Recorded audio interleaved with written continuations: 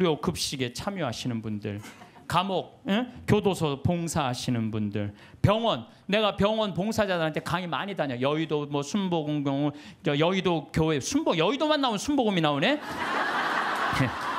여의도 성모병원, 강남 성모병원, 뭐 인천병원 이렇게 내 봉사자들한테 강의 많이 다녔거든요. 근데요 병원의 봉사자들 200명, 300명 돼요. 우리 천주교 교우들이 이분들 다 뭐 하는 거예요? 하늘나라의 통장에 잔고가 가득 있어요. 어, 내가 그 우리 내가 강원도 사람이잖아요. 원주에 사시는 김영문이라는 분은 원주 근처 한 38개 복지 시설에 이제까지 짜장면을 몇 개를 만들어 줬냐면 7만 2천 그릇을 만들어 줬대. 네 사람이 부자냐? 운전 기사인데 한 달에 120밖에 못 벌었대요. 근데 그 월급의 일부를 나눠서 짜장면을 자기 쉬는 날 그래갖고 막 짜장면을 만들기 위해서 막 살림살이를 하니까 부인이 저게 딴 살림 차렸나 그럴 정도로 오해할 정도로. 그러니까 친구가 정육 좀 하는 친구는 뭐라 그래요? 야 내가 너 그렇게 짜장면 어려운 사람들 고아원 양로원에 가서 봉사하는데 내가 고긴 내가 대주마. 심지어 문막에 있는 시각 장애우들은 우리가 밀가루 봉헌하겠다. 이런 사람들이 하늘나라 통장에 잔고가 많은 사람들이에요. 반대로 엄청난 돈이 있으면서도 가난한 이웃 돌보지 않고 돈 더 많이 벌어보겠다고 벌진 아일랜드에다가 알지도 못하는 섬에다가 회사 차려서 세금 떼어먹는 사람들 많아요. 이런 사람들 세상 통장에는 잔고가 많을지 모르겠지만 하늘나라 통장에는 잔고가 하나도 없는 분들이에요. 세상 통장에 돈 많은 거 그것 아무 소용 없어요. 세금 얘기 나왔으니까 대한민국 사람들이요. 우리나라가 우리들이 하늘나라로 여행을 떠나려면 뭐가 있어야 된다 그랬죠? 여건이 있어야 된다 그랬어요. 하느님을 꽉 붙잡고 살 때 우리는 여권 발급받을 수 있습니다.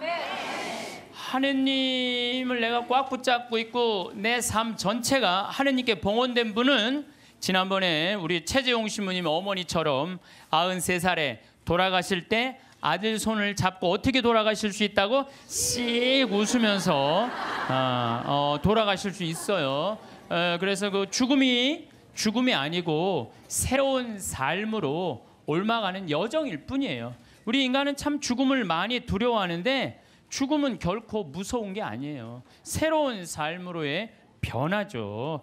어, 지금은 미국이 자구, 자유여행이 많이 되잖아요. 근데 옛날에는 미국에 여행 갈라 그래도 까다로웠어요, 안 까다로웠어요? 까다로웠어요. 미국에 갈라 그러면은 옛날에 미국 비자 발급 받으려면은요 통장에 잔고가 얼마 있느냐, 너 갔다가 돌아올 수 있는데 보증인이 있느냐 이런 거 다 물어봤어요. 또 막상 요즘은 미국에 이렇게 제가 로만 칼라를 차고 어, 이제 미국 강의하러 갈 때 거기 여권 심사하는 데서 꼬치꼬치 물어요. 왜 왔느냐고. 그래서 강의하러 왔다. 도라는 갈 거냐? 나 한국에 갈 거다. 며칠 머물 거냐? 뭐 10일 머무를 거다. 정말로 까다롭게 물어보더라고요. 여러분들 어, 만약에 하늘나라에 막 들어가려고 그럴 때 이 베드로 성인이 물어볼 거예요. 너 성당은 열심히 다녔느냐? 어? 에? 또 가난한 이웃은 잘 돌보았느냐? 회개는 많이 했느냐? 하늘나라 열쇠 쥐고 있는 분이 다행히 베드로라 정말로 다행이에요. 이 베드로 성인이 좀 허술해요. 네. 베드로 성인이 호, 만약에 바오로 사도가 열 권, 열쇠를 갖고 있었으면요. 저를 포함해서 여기 있는 분들 들어갈 수 있는 분들 거의 없어요. 바오로 사도는 신약 성서 27권 중에 13권을 쓴 사람이에요. 얼마나 똑똑한 사람인지 몰라요. 그 똑똑한 사람들이 여러분들한테 따지면 여러분들 뭐 말 대꾸 제대로 할 수 있을 것 같아요? 어, 못해요. 그냥 얼버무리다가 그냥 아, 이거 자격 없네 그리고 그냥 딴 데로 보낼 거예요. 그나마 우리 베드로 사도 예, 참 베드로 사도는요 재밌어요. 베드로 사도는 거의 성서 글을 쓰지 않았어요. 써도 신약 성서에 두 권, 베드로 전서 후서. 근데 얼마나 웃기냐면은 베드로 전서 5장, 후서 3장. 아주 간단하게 썼어요. 아주 간단하게 이뭐 베드로 성인이 쓴 건지 아니면 제자들이 쓴 건지 몰라도 그것도 베드로 전설을 읽어보면 너무 재밌어요. 어떻게 재밌느냐면은 예수님이 베드로 사도한테 너는 반석이다. 내가 내 위에 내 교회를 세우겠다 그랬죠. 그래서 이 베드로 성인은요 돌에 대한 게 굉장히 관심이 많았던 것 같아. 그래서 이 베드로 사도 어, 예수님 표현하는 걸 보면은 사람들에게는 버림을 받았지만 하느님께 선택된 값진 돌이란 돌이 돌 얘기만 해요. 베드로 그 베드로 전설을 보면은 내가 시온에 돌을 놓는다. 선택된 값진 모퉁이 돌이다. 이 돌을 믿는 이는 부끄러운 일을 당하지 않을 것이다. 집 짓는 이들이 내버린 돌이 그 돌이 모퉁이의 머릿돌이 되었네. 돌 얘기만 해. 돌 얘기만 베드로 사도는. 근데 이 베드로 사도가 하늘나라 열쇠를 쥐고 있긴 있는데 허술하다는 이야기는요. 예수님께서 이제 예루살렘으로 올라가면서 그 이제 올라가는 길에 얘기를 해요. 나는 너 너에게 내 교회를 세우겠다. 그리고 그 얘기 하시자마자 뭐라 그러냐면 나는 예루살렘에 올라가면은 어, 순환을 당하고 죽을 것이다. 그랬을 때 베드로가 뭐라 그러냐면 아이코 맙소사 그런 일은 결코 일어나지 않을 것입니다. 내가 당신 지키겠다 이거예요. 지금 예수님은 죽으러 올라가는데 베드로는 국무총리 되려고 올라가는 거예요. 지금 예수님 생각하고 베드로 생각하고 완전히 달라요. 베드로는 하늘나라를 이해하지도 못했어요. 그러니까 이런 말을 하는 거예요. 아이쿰 앞소사 주님 그런 일은 결코 일어나지 않을 것입니다. 그러니까 예수님이 바로 뭐라고 그러냐면은 사탄아 내게서 물러가라 너는 나에게 걸림 돌이다 돌 얘기 많이 나오죠 너는 나한테 걸림 돌이다 에, 이, 너는 하느님의 일은 생각하지 않고 사람의 일만 생각하는구나 예수님은 하느님의 일로 인류를 구원하시기 위해 십자가에 못 박혀 돌아가시려고 그러는데 베드로는 뭐 하려고 올라간 거예요? 국무총리 하러 올라. 근데 아 국무총리 아 왕이 돼야지 국무총리 될 거 아니에요. 근데 죽는다니까 아이쿠 맙소사 결코 주님 그런 일은 일어나지 않을 것입니다. 그러니까 예수님 뭐라 그래? 사탄아 내게서 물러가라. 너는 하느님의 일은 생각하지 않고 사람의 일 국무총리 될 일만 생각하는구나. 아 예수님이 또 그래도 그렇지. 바로 전에 내가 내 위에 내 교회를 세우겠다 그러다가 또 바로 사탄아 물러가라 그냥. 아 예수님 믿는 거 쉽지 않아요. 예수님 아주 당황스러운 일들을 너무 많이 하셔갖고. 예 베드로는 예수님이 붙잡히니까 세 번이나 예수님을 배반해요. 세 번이나. 먼저 예수님 붙잡히고 다른 제자들은 그래도 다 도망가도 그래도 베드로가 그 열둘 중에 나요 그래도 예수님 따라가고 어떻게 되나 지켜보려고 따라갔어요. 그러니까 그 종이 뭐라 그래요? 어, 당신도 그 갈릴리아 예수랑 같이 다니는 사람이군요. 그러니까 이 베드로가 뭐라 그래요? 난나이 여자가 무슨 말을 하는지 이 여자가 지금 무슨 말을 하는지 모르겠네 이래요. 근데 어, 당신 정말 그 사람하고 있었는데 그랬더니 나는 그 사람을 알지 못하고 그래요. 참, 이 베드로가 할 일이에요. 어?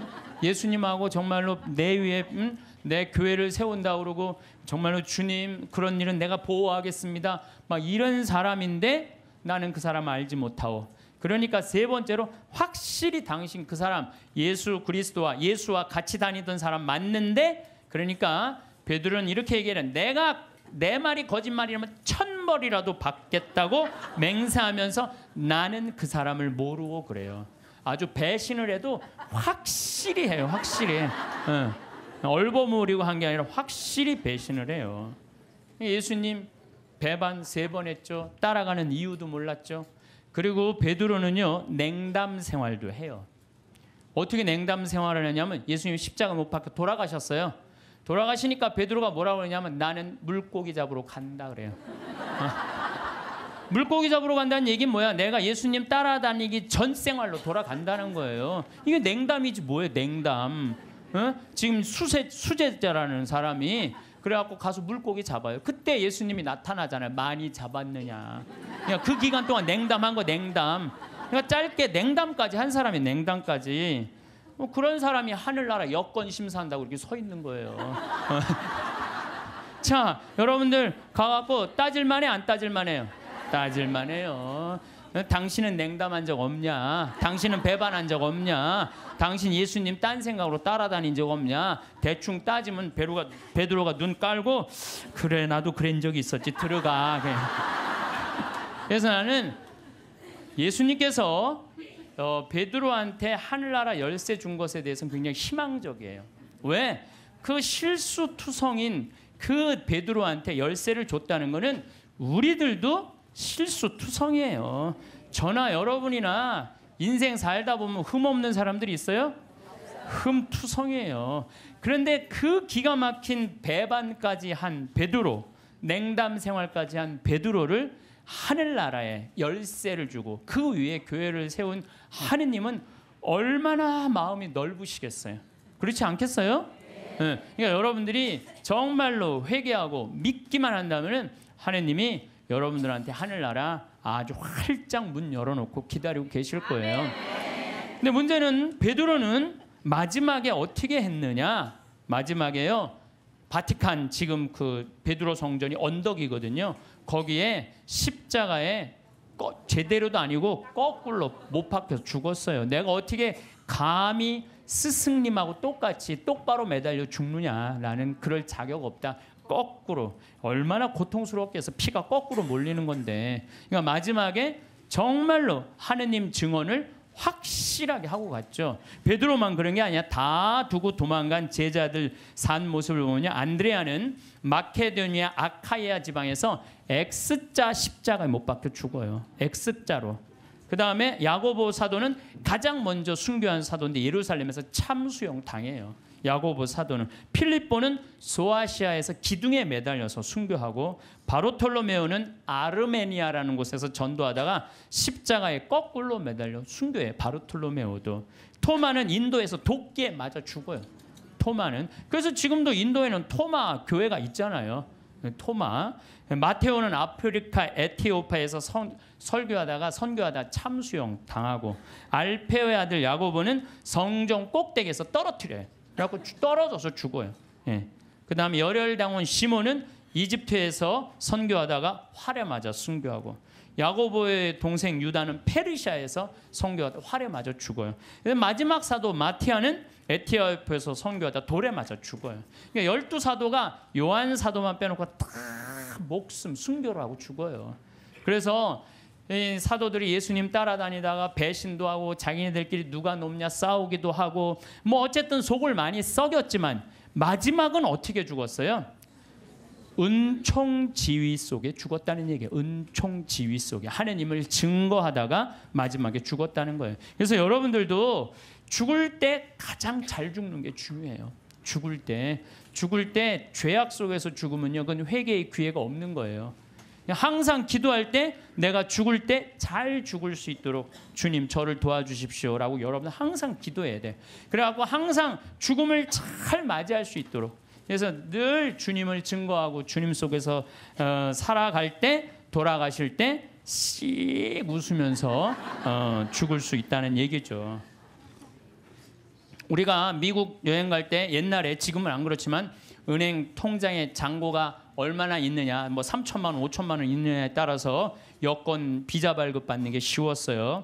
우리도 하늘나라 갈 때 하느님이 물어볼 거예요. 너 하늘나라 은행 통장에 잔고가 얼마나 있느냐?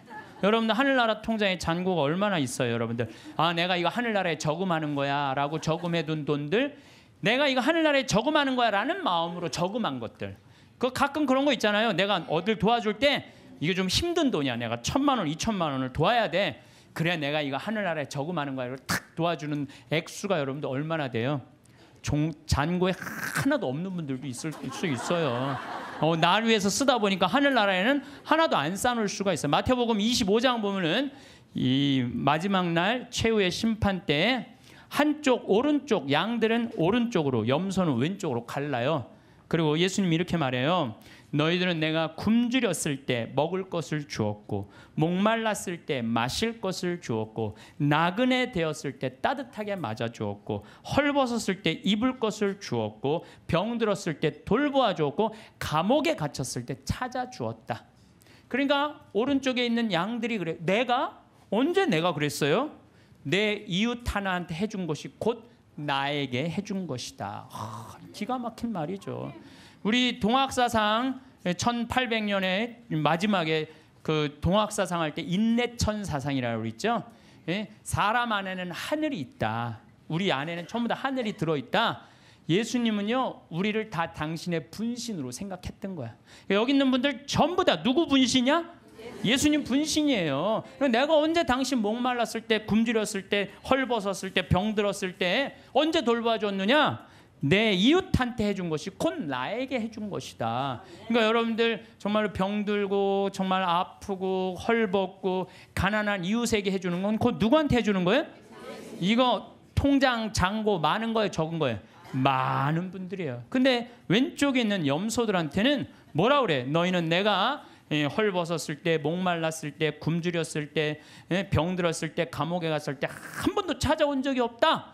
아, 내가 언제 주님, 주님인 줄 알았으면 우리가 찾아갔는데 언제 언제 주님께서 그러셨느냐고 내 이웃에게 해주지 않은 것이 곧 내게 해주지 않은 것이다. 여기 계신 분들 가운데 무료 급식에 참여하시는 분들, 감옥, 응? 교도소 봉사하시는 분들, 병원, 내가 병원 봉사자들한테 강의 많이 다녀. 여의도 뭐 순복음병원, 여의도 교회, 순복 여의도만 나오면 순복음이 나오네.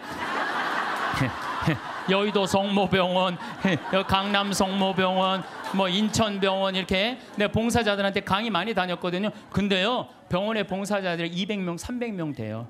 우리 천주교 교우들이 이분들 다 뭐 하는 거예요? 하늘나라의 통장에 잔고가 가득 있어요. 어, 내가 그 우리 내가 강원도 사람이잖아요. 원주에 사시는 김영문이라는 분은 원주 근처 한 38개 복지 시설에 이제까지 짜장면을 몇 개를 만들어 줬냐면 7만 2천 그릇을 만들어 줬대. 네 사람이 부자냐? 운전 기사인데 한 달에 120밖에 못 벌었대요. 근데 그 월급의 일부를 나눠서 짜장면을 자기 쉬는 날 그래갖고 막 짜장면을 만들기 위해서 막 살림살이를 니까 부인이 저게 딴 살림 차렸나 그럴 정도로 오해할 정도로 그러니까 친구가 정육 좀 하는 친구는 뭐라 그래요?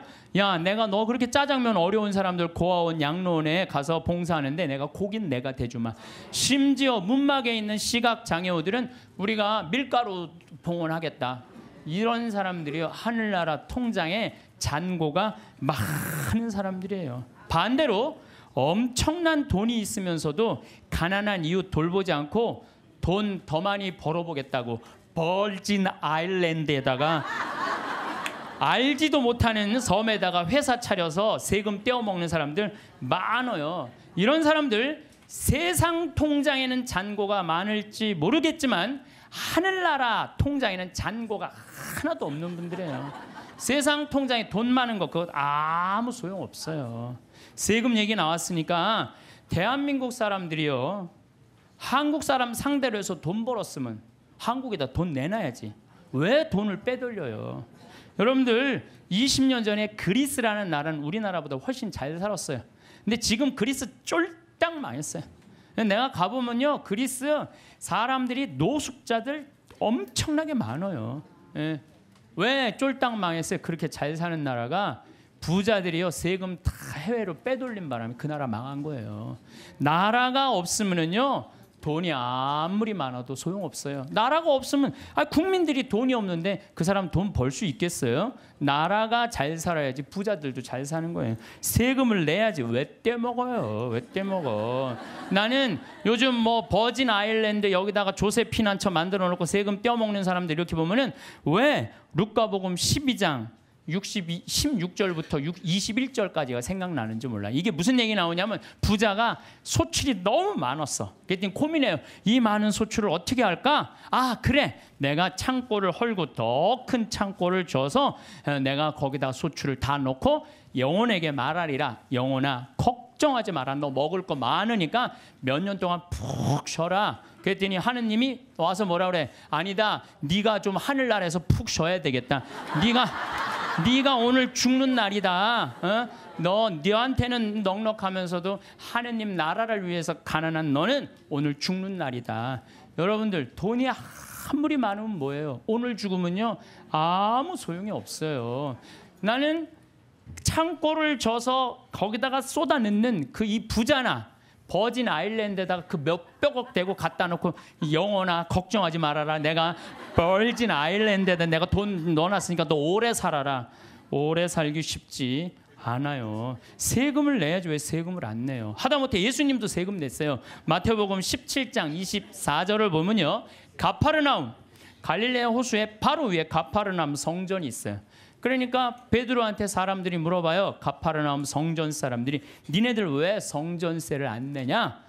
근데 성서를 보면 베드로는 역시 똑같아요. 일단 낸다고 우겨요. 낸다 우리. 어. 성서를 보면 굉장히 웃겨요. 낸다 우리. 그리고 이제 예수님한테 가서 물어봐요. 예, 예수님 성전세 내려는데 어떻게 하면 좋으냐고. 그랬더니 예수님이 너 가서 물고기 잡으면은 그 물고기 입에 한 스타테르가 있을 것이다. 그거 내라. 스타테르는요 그리스로 어, 한 은, 은, 은하 한 입인데 그거는 돈이 얼마냐면 우리 이 대한민국 지금 기초 아주 최저 하루 근로비의 네배네배 그러니까 16만 원 정도 되는 거예요. 우리가 3만 7천 원인가 3만 8천 원이가 하루 아주 최저 임금이거든요. 그러니까 16만 원 되는 걸 아니 예수님도 낸 세금을 아니 왜 안 내냐 이거예요. 이 성서를 난 이거 이거 성서를 보면서 여기서 깨달은 진리가 있어요. 사소한데 목숨 걸지 말아라. 예수님도 지금 가장 큰 일은 뭐야? 하늘나라를 위해서 이 예루살렘에 올라가고 십자가 못 박혀 돌아가셔야 돼. 근데 그 세금 안 낸다고 우기면은요, 아예 유대인 취급도 못 받아요. 그거 16만 원 뭐 많이 돈 드느냐? 그리고 그냥 스타테로 낸 거예요. 사소한데 목숨 걸지 말라는 거예요. 요즘 부자들 보면은요, 자기 재산이 1조 원이나 되는데 아이 그한 천억, 이천억 내는 게 뭐가 아고 천억, 이천억 내도 얼마가 남아요? 8천억이 남아요. 8천억. 아니 그 8천억은 생각하지 않고 에? 그 2천억이 아깝다고 그걸 안 내갖고 감옥에 지금도 감옥에 간 사람 있잖아 며칠 전에 에? 어젠가 그제 갔잖아요 감옥에 에? 그, 그 많은 돈을 가지고도 왜 감옥을 가요? 내면 되지. 왜 사소한데 목숨 거냐? 이거야, 내 얘기는. 그냥 통 크게 내면 되지. 저는 부자들은 하늘나라 들어가기가 낙타, 음, 낙타가 바늘구멍 뚫고 지나가는 것보다 힘들다고 한 예수님 말 저는 이해가 돼요. 여러분 혹시 지금 여러분들 만 원 갖고 있어요. 만 원 갖고 있으신 분들 내가 아, 저 천 원 좀 주실래요? 커피 한 잔 좀 뽑아 먹게. 그럼 여러분들 저한테 천 원 줄 거야 안 줄 거예요? 주죠. 줘요. 아이 만 원 중에 천 원은 괜찮아요. 근데 만약에 여러분들이 천억을 갖고 있어. 천억을 갖고 있는데 내가 아 나 좀 돈좀 쓰게 백억만 달라 그러면 여러분들 백억 줄 것 같아 안 줄 것 같아요? 아 이거 쉽지 않아요. 천 원하고 백억하고는 달라요. 천 원하고. 그래서 돈이 많은 사람들은요. 아마 여기 지금 여기 있는 분들 준다 그래도 막상 천억 갖고 있는데 내가 백억 달러면 못 줘요. 백억이 그게 남의 집 애 이름이에요. 어. 근데 나는 백억 필요 없어요. 근데 국가는 백억이 필요해요. 왜? 너 당신 대한민국을 상대해서 돈 벌었으니까 백억 주면은 이 백억 가지고 가난한 사람들 도와주겠다. 어려운 사람들 복지, 어 이런 거 국가 문화재 이런 거 보호하겠다. 그러면은 좀 넓은 마음으로 내가 대한민국을 상대로 해서 돈을 벌었으면 내가 이 정도까지 은총을 받았으면 내가 100억 정도 내겠다. 이렇게 마음 먹으면은 아니 사람들이 존경하고 어, 돈은 900억 남아 있고 얼마나 좋아요. 근데 사람은요 이상해요. 900억은 생각하지 않고 그 100억이라는 엄청난 돈 이것도 아까운 거예요. 그러니까 벌진 아일랜드에다가 그냥 갔다가 어. 우리나라 한 달에 한 300만 원 버는 사람들이 세금을 한 36만 원, 40만 원 정도 내요. 그냥 공식적으로 국가에. 근데 한 10억 버는 사람들은 1년에 한 3억 정도 내요.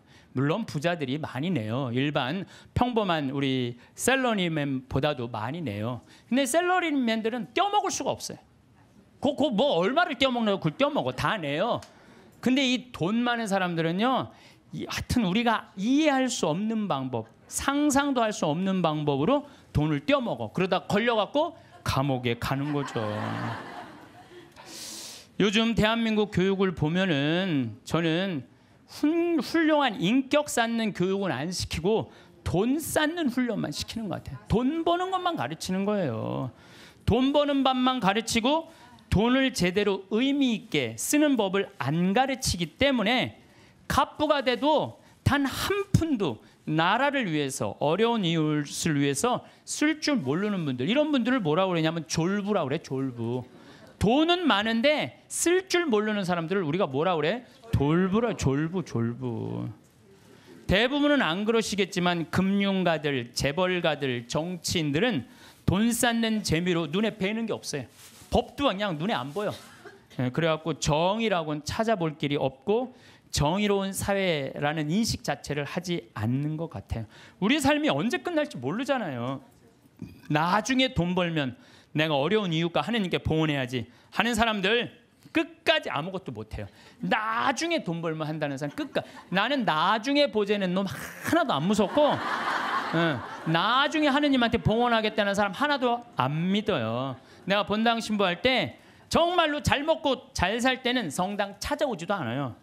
근데 그냥 쫄딱 망하면 어디 하소연할 때도 없고 나한테 와서 그냥 하는 얘기가 신부님 내가 이렇게 망할 줄 알았으면 성당에 신축금이라도 많이 해야 하는데 쫄딱 망하고 와갖고 그냥 예, 돈 있을 땐 눈에 뵈는 게 없는지 세상 무서울 것 없는 것처럼 거만하게 행동하다가 쫄딱 망하면 성당에서 나한테 하- 그리고 이제 하소연하면서 더 화가 나는 게 돈좀 꿔달라는 거 돈 좀. 예. 내가 돈이 어디 있어요? 그리고 저는요 신념이 뭐냐면 그 달에 번 건 그 달에 다 쓰자 이게 내 신념이에요. 그러니까 아, 나는 누가 와서 사기 치려고 그래도 사기 당할 돈이 없어요. 그 달에 번 건 그 달에 다 쓰는데 사기 당할 돈이 어디 있어요? 여러분들 나중에 돈 벌면은 어려운 사람 돕겠다는 사람 이 생각하는 사람 아예 머릿속에서 지우세요. 그리고 난 진짜 싫어하는 게 뭐냐면 동전 모아 어려운 이웃 돕는 문화 싫어해요. 물론 어린아이한테 동전을 모아갖고 어려운 이웃을 가리, 돕는 거 가르치는 거 좋아요. 하지만 우리 문화 전체가 쓰다 남은 동전 가지고 어려운 이웃을 돕는다. 이건 정말로 나쁜 거예요. 내가 재산 중에 정말로 일부분을 소중한 일부분을 떼어서 어려운 이웃을 도와준다고 할 때 그건 의미가 있는 거예요. 여러분 2006년에요. 미국은요 기부금이 얼마가 나왔느냐면 3천억 달러가 나왔어요. 2006년에 근데 우리나라 2006년 총 수출액이 얼마인 줄 알아요? 3,255억 달러예요. 우리나라 전체 수출액하고 미국 사람들 기부액하고 똑같아요. 미국 사람들은요 저금 통장 모아갖고 이 동전 가지고 3천억 달러 절대 못 모아요. 모으면요 빌 게이츠, 워런 베핏 이런 사람들은요 300억 달러, 600억 달러 탁탁 기증하는 거예요. 그러니까 자기 재산 다 기증하는 거예요. 그리고 자기 자식들한테 천만 달러 정도 남겨두는 거예요. 우리 지금 대한민국 사회 재벌가들이 뭐 1조 원 넘는 사람들이 28명이나 된대요. 어, 그런 사람들이 1조 딱 내봐요. 정말로 이게 나라가 달라져. 질이 달라져, 질이. 근데 그냥 그 1조 그것 그 중에 1, 2천억 그냥 내기 싫어 갖고 그냥 벌진 아일랜드에다가 대고 그냥 아유. 저는 돈만 모아 놓았다가 한 푼도 못 쓰고 죽는 사람들 많이 봤어요. 뼈 빠지게 돈 모았다가 하루 아침에 사기 당해서 나는 죽는 사람은 덜 억울해. 살아 있는데 사기 당해 갖고 그냥 한 푼도 못 쓰고 쫄딱 망하는 사람들 그런 사람들 보면요 정말로 저도 가슴이 아파요.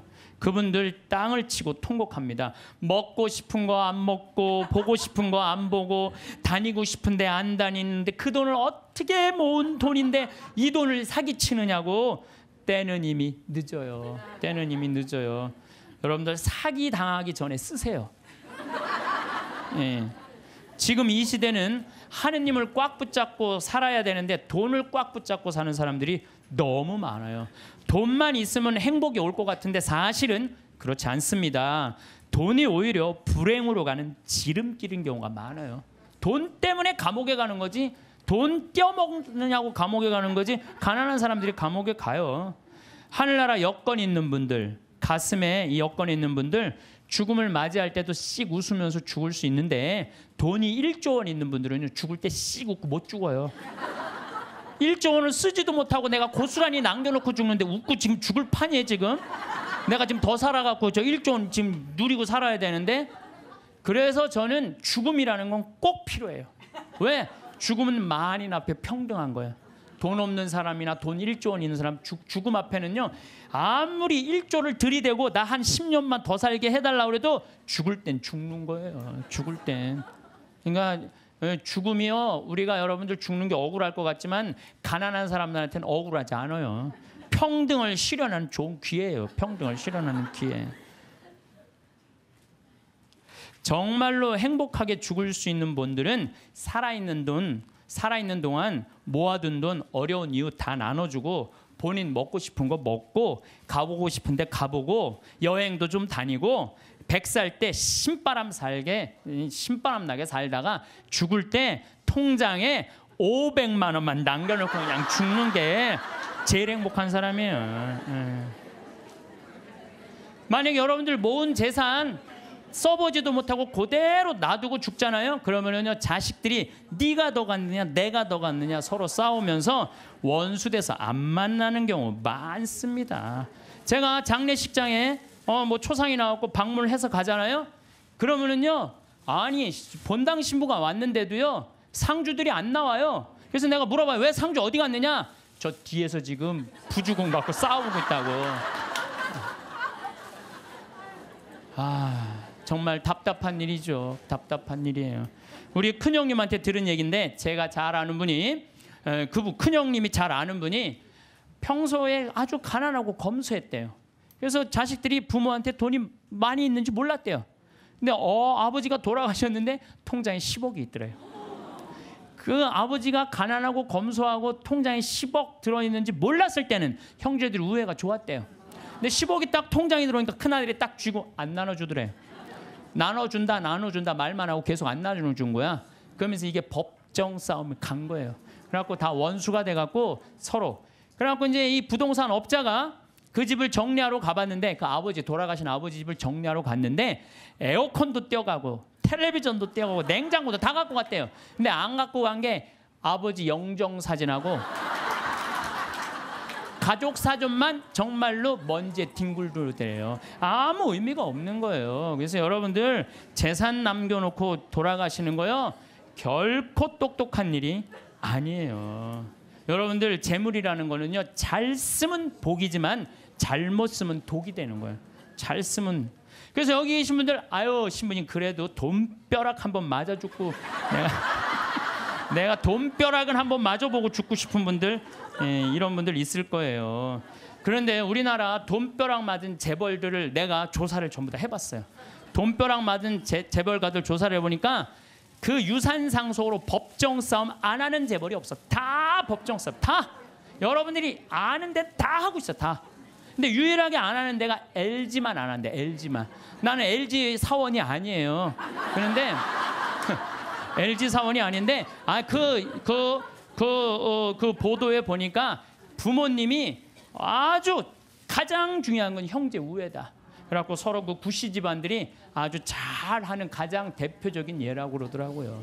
예. 여러분들 자식을요 아무리 돈이 많아도요 우애를 안 가르치고 돈만 먼저 가르치잖아요. 다 원수돼요. 그 무슨 소용이 있어요? 아무리 돈이 많으면 뭐해요?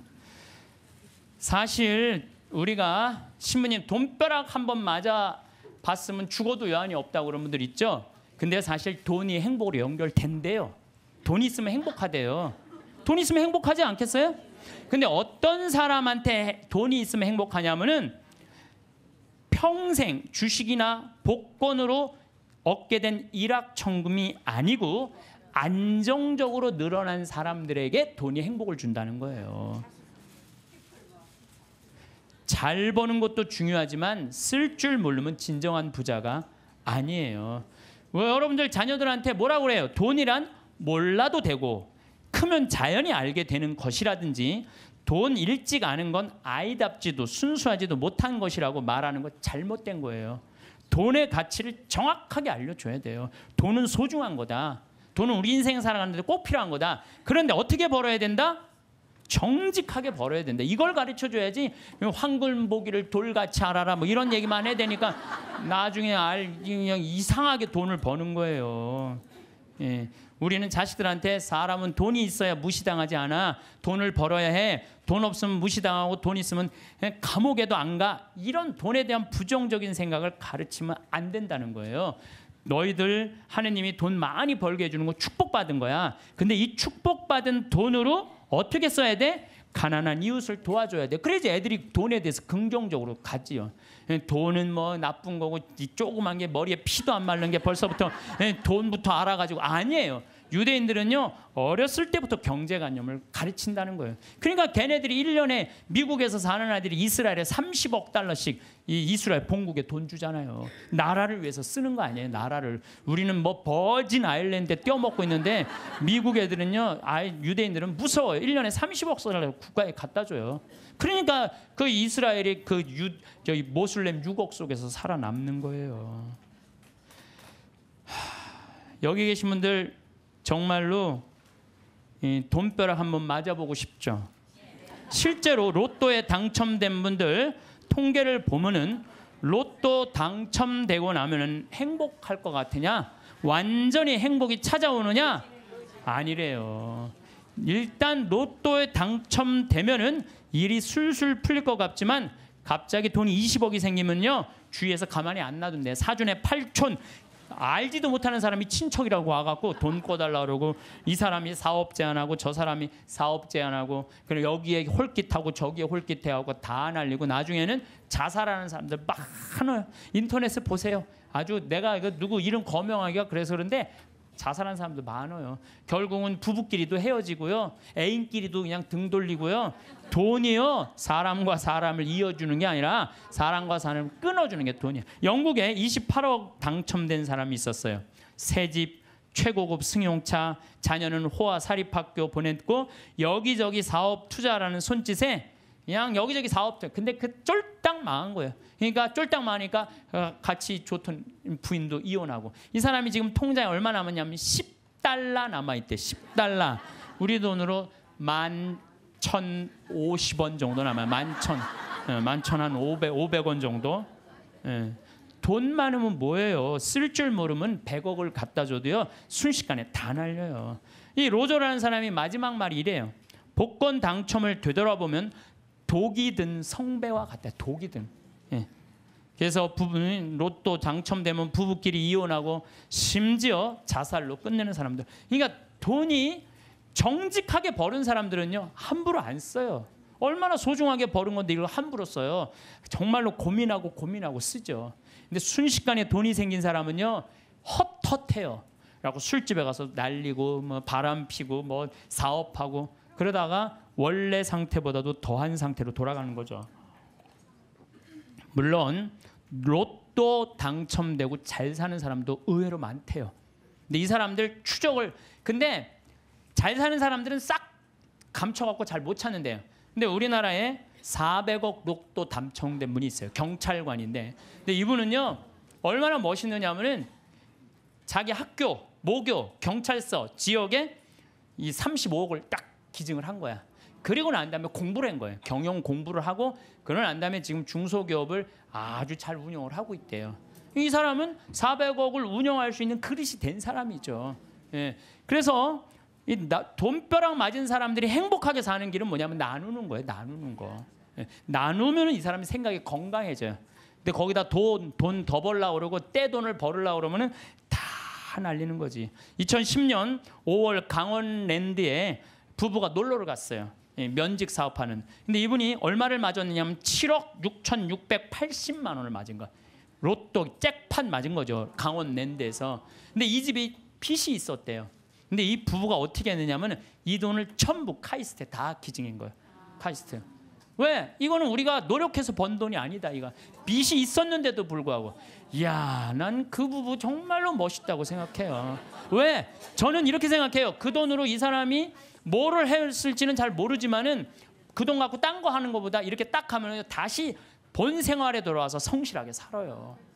별 일 없이 그냥 열심히 살아요. 그게 행복한 거지. 그냥 여기 이제 돈벼락 맞고 싶은 분들 맞지 마세요. 네. 이런 분들은 대한민국에도 큰일 하신 분들이지만은 하늘나라에도 공덕 쌓아 놓으신 분들이에요. 갑자기 많은 돈이 생기면요 사람 미쳐요. 귀신이 쉬어요. 돈 귀신이 쉬어요.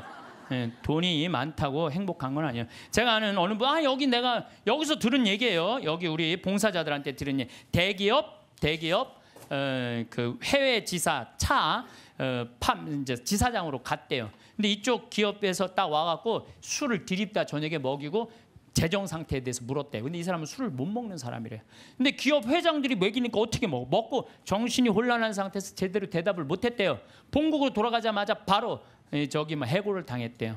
해고를 당하고 저기 무슨 서해안 쪽에 횟집에 음, 처형이 이제 그 하는 횟집에 이거 이걸 날 서빙을 하고 있는 거야. 그 기가 막힌 해외 지사장이 다른 사람들이 당신 그렇게 인맥도 넓고 능력도 있으니까 우리 회사 내가 스카우트 하겠다고 그랬더니 이분이 하는 말이 내가 왜 이 좋은 자리를 관두느냐고. 어? 서비스 생각 하나도 안 해도 되고 남 속이 안 와도 되고 이것만 날로 난 너무너무 행복하다. 어, 난 지금 행복하다. 근데 이런 분들을 제가 많이 봐요.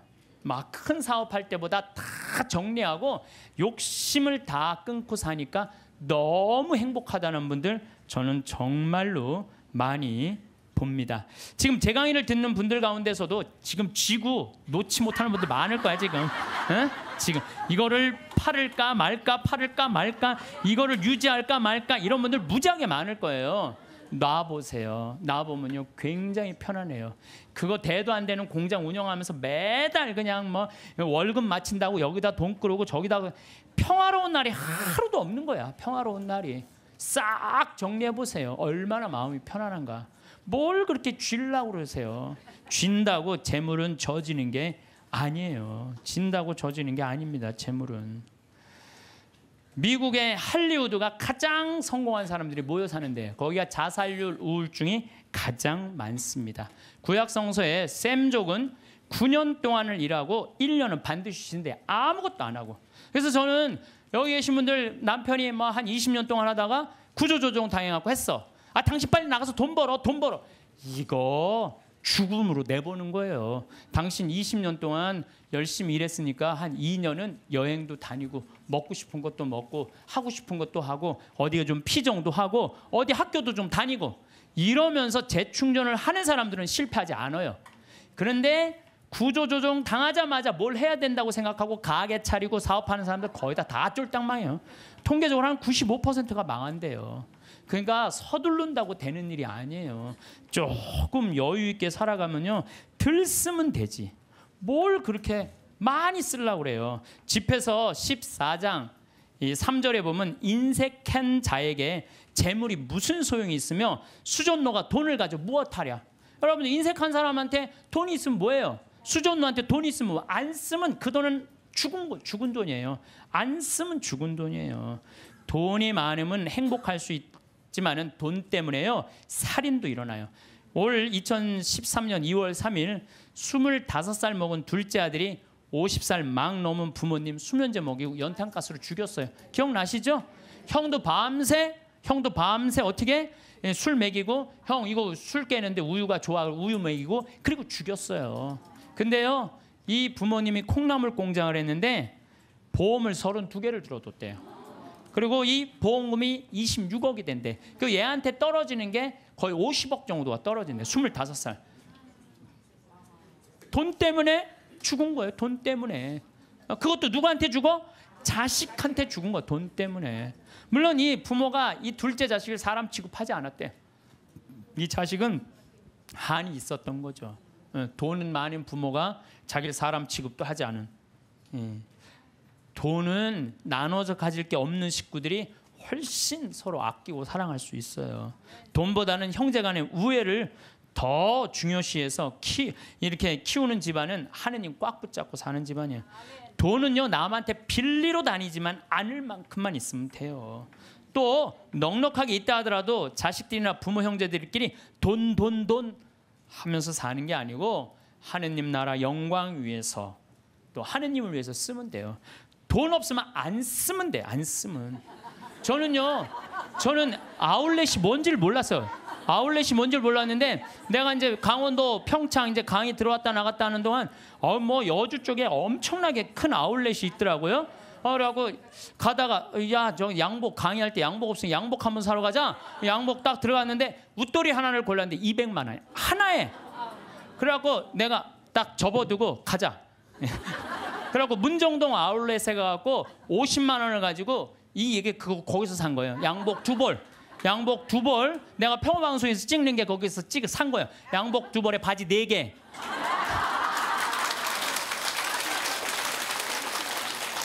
돈은요 없으면 안 쓰면 돼요. 안 쓰면 돼요. 없는데 쓰려고 그러니까 고통스러운 거예요. 집에서 18장 33절에 내 지갑 속에 아무것도 없으면서 꾼 돈으로 잔치를 벌이다 거지가 되지 마라. 그것은 사실 자신의 생명을 거스르는 행동이다. 그러니까 여러분들 돈이라는 건요 우리가 너무 나쁘다고 생각할 필요도 없고 너무 좋다고 생각할 필요도 없어요. 내가 돈의 노예가 안 되고 돈을 내가 부리는 주인이 돼야 돼요. 오늘도 황창현 신부님의 행복 특강 잘 들으셨나요? 이어서 나이 들수록 들으면 도움이 되는 지혜의 말씀을 들려드리겠습니다. 오늘은 우리 주변에서 언제든 만날 수 있는 뱀처럼 교활한 사람들의 아홉 가지 특징에 대해 말씀드리겠습니다. 첫 번째, 거짓말과 속임수를 자주 사용한다. 교활한 사람들은 항상 그저 자신의 이익을 위해 거짓말을 하거나 다른 사람을 속이는 경향이 있다. 그들은 사람들을 기만하고 자신의 목적을 이루기 위해 항상 사실을 왜곡하고 남들을 현혹시키기를 좋아한다. 거짓말은 눈덩이와 같기 때문에 계속 굴릴수록 점점 커져만 간다. 따라서 이런 교활한 사람들은 자신의 거짓말이 점점 커지는 것에 큰 불안감을 느낄 수밖에 없고 언제 거짓말이 폭로될지 전전긍긍하며 살고 있다. 한 개의 거짓말을 한 사람은 이것을 유지하기 위해 다시 스무 개의 거짓말을 생각해내지 않을 수 없기에 그 거짓말의 크기는 점점 커진다. 만약 내 주변에 거짓말하거나 속이는 사람이 있는지 알고 싶거든. 그 사람의 태도를 보아라. 사람은 자신에 대한 거짓말을 할 때 가장 큰 소리를 내게 된다. 방귀 낀 놈이 성낸다는 말이다. 제대로 사람을 속이려는 목적으로 완벽하게 거짓을 꾸며낼 수는 있지만 끝까지 그것을 관철시킬 수는 없다. 거짓말은 무게가 없기 때문에 바라보면 꼼짝없이 들통나게 되어 있다. 화려한 겉모습이나 그럴싸한 말을 하는 사람이 있다면 그 사람의 본질을 알기 전까지는 조금은 거리를 두고 천천히 알아가는 것이 좋다. 두 번째, 자기 의견을 강요하거나 억지를 부린다. 이들은 말도 안 되는 억지를 부리며 자기 의견을 일방적으로 남에게 주입하려 한다. 우리 주변에 생각보다 많이 보이는 이런 사람들은 본인이 옳다고 생각하는 견해나 가치관을 남에게 항상 강요한다. 하지만 강요받는 쪽도 이것이 반드시 옳다고 생각하는 것은 아니지만 그저 인간관계가 깨질까봐 억지로 수긍하고 넘어가는 경향이 있다. 교활한 자들은 이런 사람들의 배려를 이용하여 자기 의견이나 방법을 남에게 강요한다. 이런 사람은 우월성을 과시하고 싶거나 자신의 불안감을 없애려는 욕망을 가졌을 가능성이 높으므로 주의해야 한다. 세 번째, 타인을 비하하고 조롱한다. 교활한 사람들은 다른 사람들을 비하하거나 조롱하여 상대방을 약화시키고 자신의 우위를 강조하려 한다. 이런 사람들은 전형적으로 약자에게는 강하고 강자에게는 약한 비겁한 사람들이다. 이런 사람들은 기본적으로 약해 보이는 사람들에게는 막 대해도 된다라는 인간으로서는 가져서는 안 돼 한심한 태도를 가지고 있으며 누군가와 대화를 할 때도 자신이 늘 우위에 서려고 한다. 스스로를 대단한 사람이라 생각하고 전문가는 자기밖에 없다고 생각하며 다른 사람이 자신에게 이의를 제기하는 것을 참지 못한다. 대화를 할 때도 상대방을 조롱하지 못해 안달이다.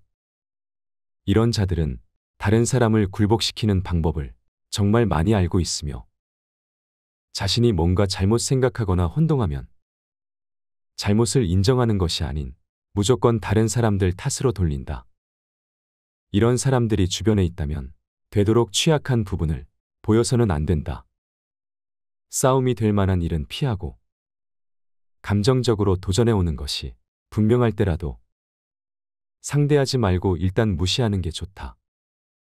대화를 할 때도 주제에서 벗어나지 않도록 주의한다. 그저 냉소주의로 대응하거나 대화를 거절하라. 교활한 사람들에게는 대화하기 싫다는 은밀한 의사표시는 먹혀들지 않는다. 따라서 자신의 뜻을 분명하게 밝힐 필요가 있다.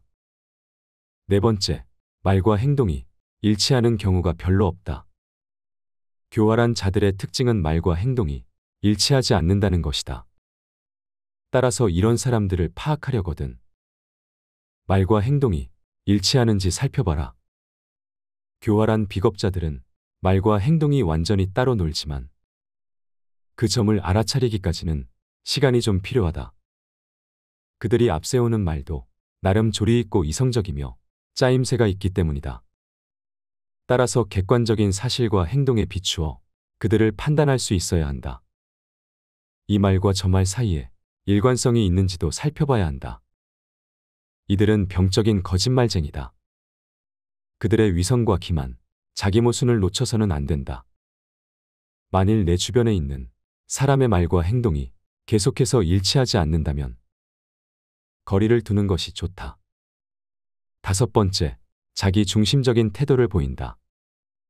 교활한 사람들은 늘 자기 중심적으로 생각한다. 같이 더불어 사는 사회에서는 타인을 배려해야 하는 상황이 많지만 이들은 남에 대한 배려를 찾아볼 수 없다. 정말이지 당연한 말이지만 이런 사람들은 주위 사람을 아무렇지 않게 휘두른다. 또한 자기중심적인 이들은 매사에 자신에게 득인지 실인지를 따져보고 상황에 맞게 교묘하게 움직인다. 그들과 지내며 옆에서 지켜보면 자기 보신을 위해 마치 카멜레온처럼 상대의 권력이나 영향력에 따라 태도를 바꾸는데 이들의 이런 성향이 바뀔 가능성은 극히 낮다. 따라서 이들을 바꾸려고 하지 말고 원래 그런 사람이라고 생각해야 한다. 마음을 깊이 주지 마라. 시간을 낭비할 뿐이니 이런 사람들과는 그저 표면적인 관계를 유지하거나 차라리 피하는 것이 좋다. 여섯 번째, 이기적인 행동을 한다. 교활한 사람들을 가만히 살펴보면 항시 자신의 이익을 최우선으로 생각하고 다른 사람들을 이용하기 바쁘다. 항상 자기 생각만 하기 때문에 타인에게 무엇이 필요한지, 자신의 행동이 타인에게 어떤 영향을 미치는지는 절대로 고려하지 않는다. 이런 사고방식은 이기적 태도와 사회적 의무를 무시하는 것으로 나타난다. 그들은 항상 자신만을 생각하기에 자기에게 도움이 되는 사람에게는 친절하고 배려심 많은 모습을 보여주지만 자신에게 필요 없다고 느껴지는 사람들에게는 관심을 갖지도 않고 배려하는 모습을 보이지도 않는다. 만약 내 주변에 있는 사람이 항상 자기의 이익을 챙기려 하거나 남의 것을 자기 것인 것 마냥 탐내는 사람이라면 거리를 두는 것이 좋다. 이러한 사람들은 남에게 배려심 많은 척 연기를 하지만 사소한 행동들에서 들통나기 마련이다. 예를 들자면 평소에는 돈을 아끼는 사람이 다른 사람들과 함께하는 모임에서는 함께 거둔 회비로 남들보다 비싼 걸 먹고 세금으로 산 물건들을 마치 자기 것처럼 쓰는 행동 말이다. 남의 돈을 내 돈처럼 쓰는 사람들 중 이타적이고 배려심 많은 사람은 없다. 일곱 번째, 계획적인 행동을 한다. 교활한 사람들은 자신의 목적을 달성하기 위해 계획을 세우고 그것을 철저하게 실행한다. 그들은 항상 여러 상황에 대비하여 미리 계획을 세우고 그 상황을 이용해 자신이 원하는 것을 얻고자 끊임없이 행동한다. 이런 사람들의 계획 속에는 남들이 위험해지는 것도 포함되어 있다. 이들은 자신은 안전한 곳에 있으면서 남을 이용하여 자신이 이득을 본다. 이런 사람들은 그저 겁이 많아서 그렇게 행동하는 것이 아니다. 이런 비겁자들은 유능하고 교활하며 그 자리에서 결단을 내릴 수 있는데도 자신의 신망이나 권력을 지켜야 할 때를 제외하고는 절대로 앞에 나서지 않는 특징이 있다. 자신을 위해서는 누구보다 앞장서지만 자신과 관계없는 일 때문에 나서야 할 때는 침묵하거나 겁쟁이처럼 구는 것이다. 비겁자들의 더 큰 특징은 남을 위험에 빠뜨린다는 것이다. 남을 돕거나 지켜주는 대신 적의 희생양으로 삼거나 남에게 자기 죄를 덮어 씌우는 것이다. 권력의 자리에는 이런 비겁자들이 쓸어 담을 만큼 많다. 결코 위험을 무릅쓰지 않는 그들은 교활하게 남의 등을 떠밀면서 잘 되면 자신의 뛰어난 역량 때문이라고 내세우고 잘못되면 남에게 책임을 떠넘긴다. 은밀히 나누었던 약속도 필요에 따라 서슴지 않고 부정한다. 이렇게 해서 주변을 말을 잘 듣는 추종자로만 채운다. 문제는 그 대가를 남이 치르게 된다는 것이다. 예를 들어 어떠한 기업이라면 우수한 인재가 나가버리기 때문에 사세가 기울고 정치가라면 국민이 그 대가를 치르게 된다. 무능한 지도자가 자신의 안위만 보호하다가 나라를 위태롭게 만든 일은 동서고금의 역사에서 쉽게 찾아볼 수 있다. 이런 사람이 보인다면 반드시 피하라. 여덟 번째, 타인을 조정하고 상황을 이용한다. 교활한 사람들은 다른 사람들을 조종하고 상황을 이용하여 조용히 압력을 가한다. 그들은 상황을 이용해 다른 사람들을 자신의 의지대로 움직이도록 유도하며 교활하게 자신의 목적을 달성하려 한다. 이런 사람들은 타인의 심리를 조종하는 능력이 매우 능한 사람이다. 이런 사람을 알아보는 법은 어렵지 않다. 먼저 우물에서 숭늉 찾는 사람을 조심하라. 교활한 사람들은 먹잇감을 함정해 빠뜨리는 것에 급급하기 때문에 자기가 점찍은 상대의 삶에 정광석화처럼 침투하고 상대를 올가매는 약속들을 되도록 빨리 받아낸다. 타고난 포식자인 그들은 자신의 호감형 가면이 오래 버틸 수 없다는 것을 알기에 상대를 잡으려면 본색이 드러나기 전에 신속히 해치워야 한다는 것을 잘 알고 있는 것이다. 이들이 남에게 침투하는 타이밍은 상대가 뭔가 큰 일을 겪고 힘들어 할 때다. 그들은 상대의 빈틈을 노려 누군가가 함께 해주고 위로해 주기를 바라는 상대의 욕구 속에 따리를 튼다. 그렇기에 친근함과 인간적인 정을 착각하지 마라. 이들은 자신을 꾸며내고 부풀리기도 하지만 특히 제멋대로 밀고 들어와 정신을 홀린다. 그들은 지나칠 만큼 친근하게 굴면서 상대의 생활 공간 속으로 함부로 비집고 들어간다. 이런 사람을 피하지 않고 자주 만나다 보면 이들의 계획에 말려들어 자칫 신뢰받을 자격이 없는 사람을 덜컥 신뢰하게 될지도 모르기 때문이다. 아홉 번째, 능력에 비해 지나치게 자신만만하다. 교활한 사람들은 다른 사람들을 유인하고 속이기 위해 자신만만한 척을 한다. 그들은 다른 사람들의 관심을 끌기 위해 자신의 능력을 부풀리고 과장한다면 이런 부류일 수 있다. 어리석은 사람들은 늘 확신으로 가득하고 자신만만하다. 반면에 똑똑한 사람은 늘 의심에 시달리기 때문에 오히려 자신감이 덜하다. 그런데 연구 결과에 따르면 누구나 자신감이 넘치는 사람을 더 신뢰하는 경향이 있다고 한다. 그러니 역설적이게도 어리석은 사람이 더 신뢰받을 수도 있는 셈이다. 교활한 자들의 호언장담과 남들을 깔보는 경향은 쉽게 표가 난다. 그들은 허세로 가득하고 자랑할 기회를 절대 놓치는 법이 없으며 모르는 게 없고 안 가본 데가 없고 못하는 게 없고 당연히 자신이 최고다. 그래서 다른 사람들을 깔보는 경향이 있다.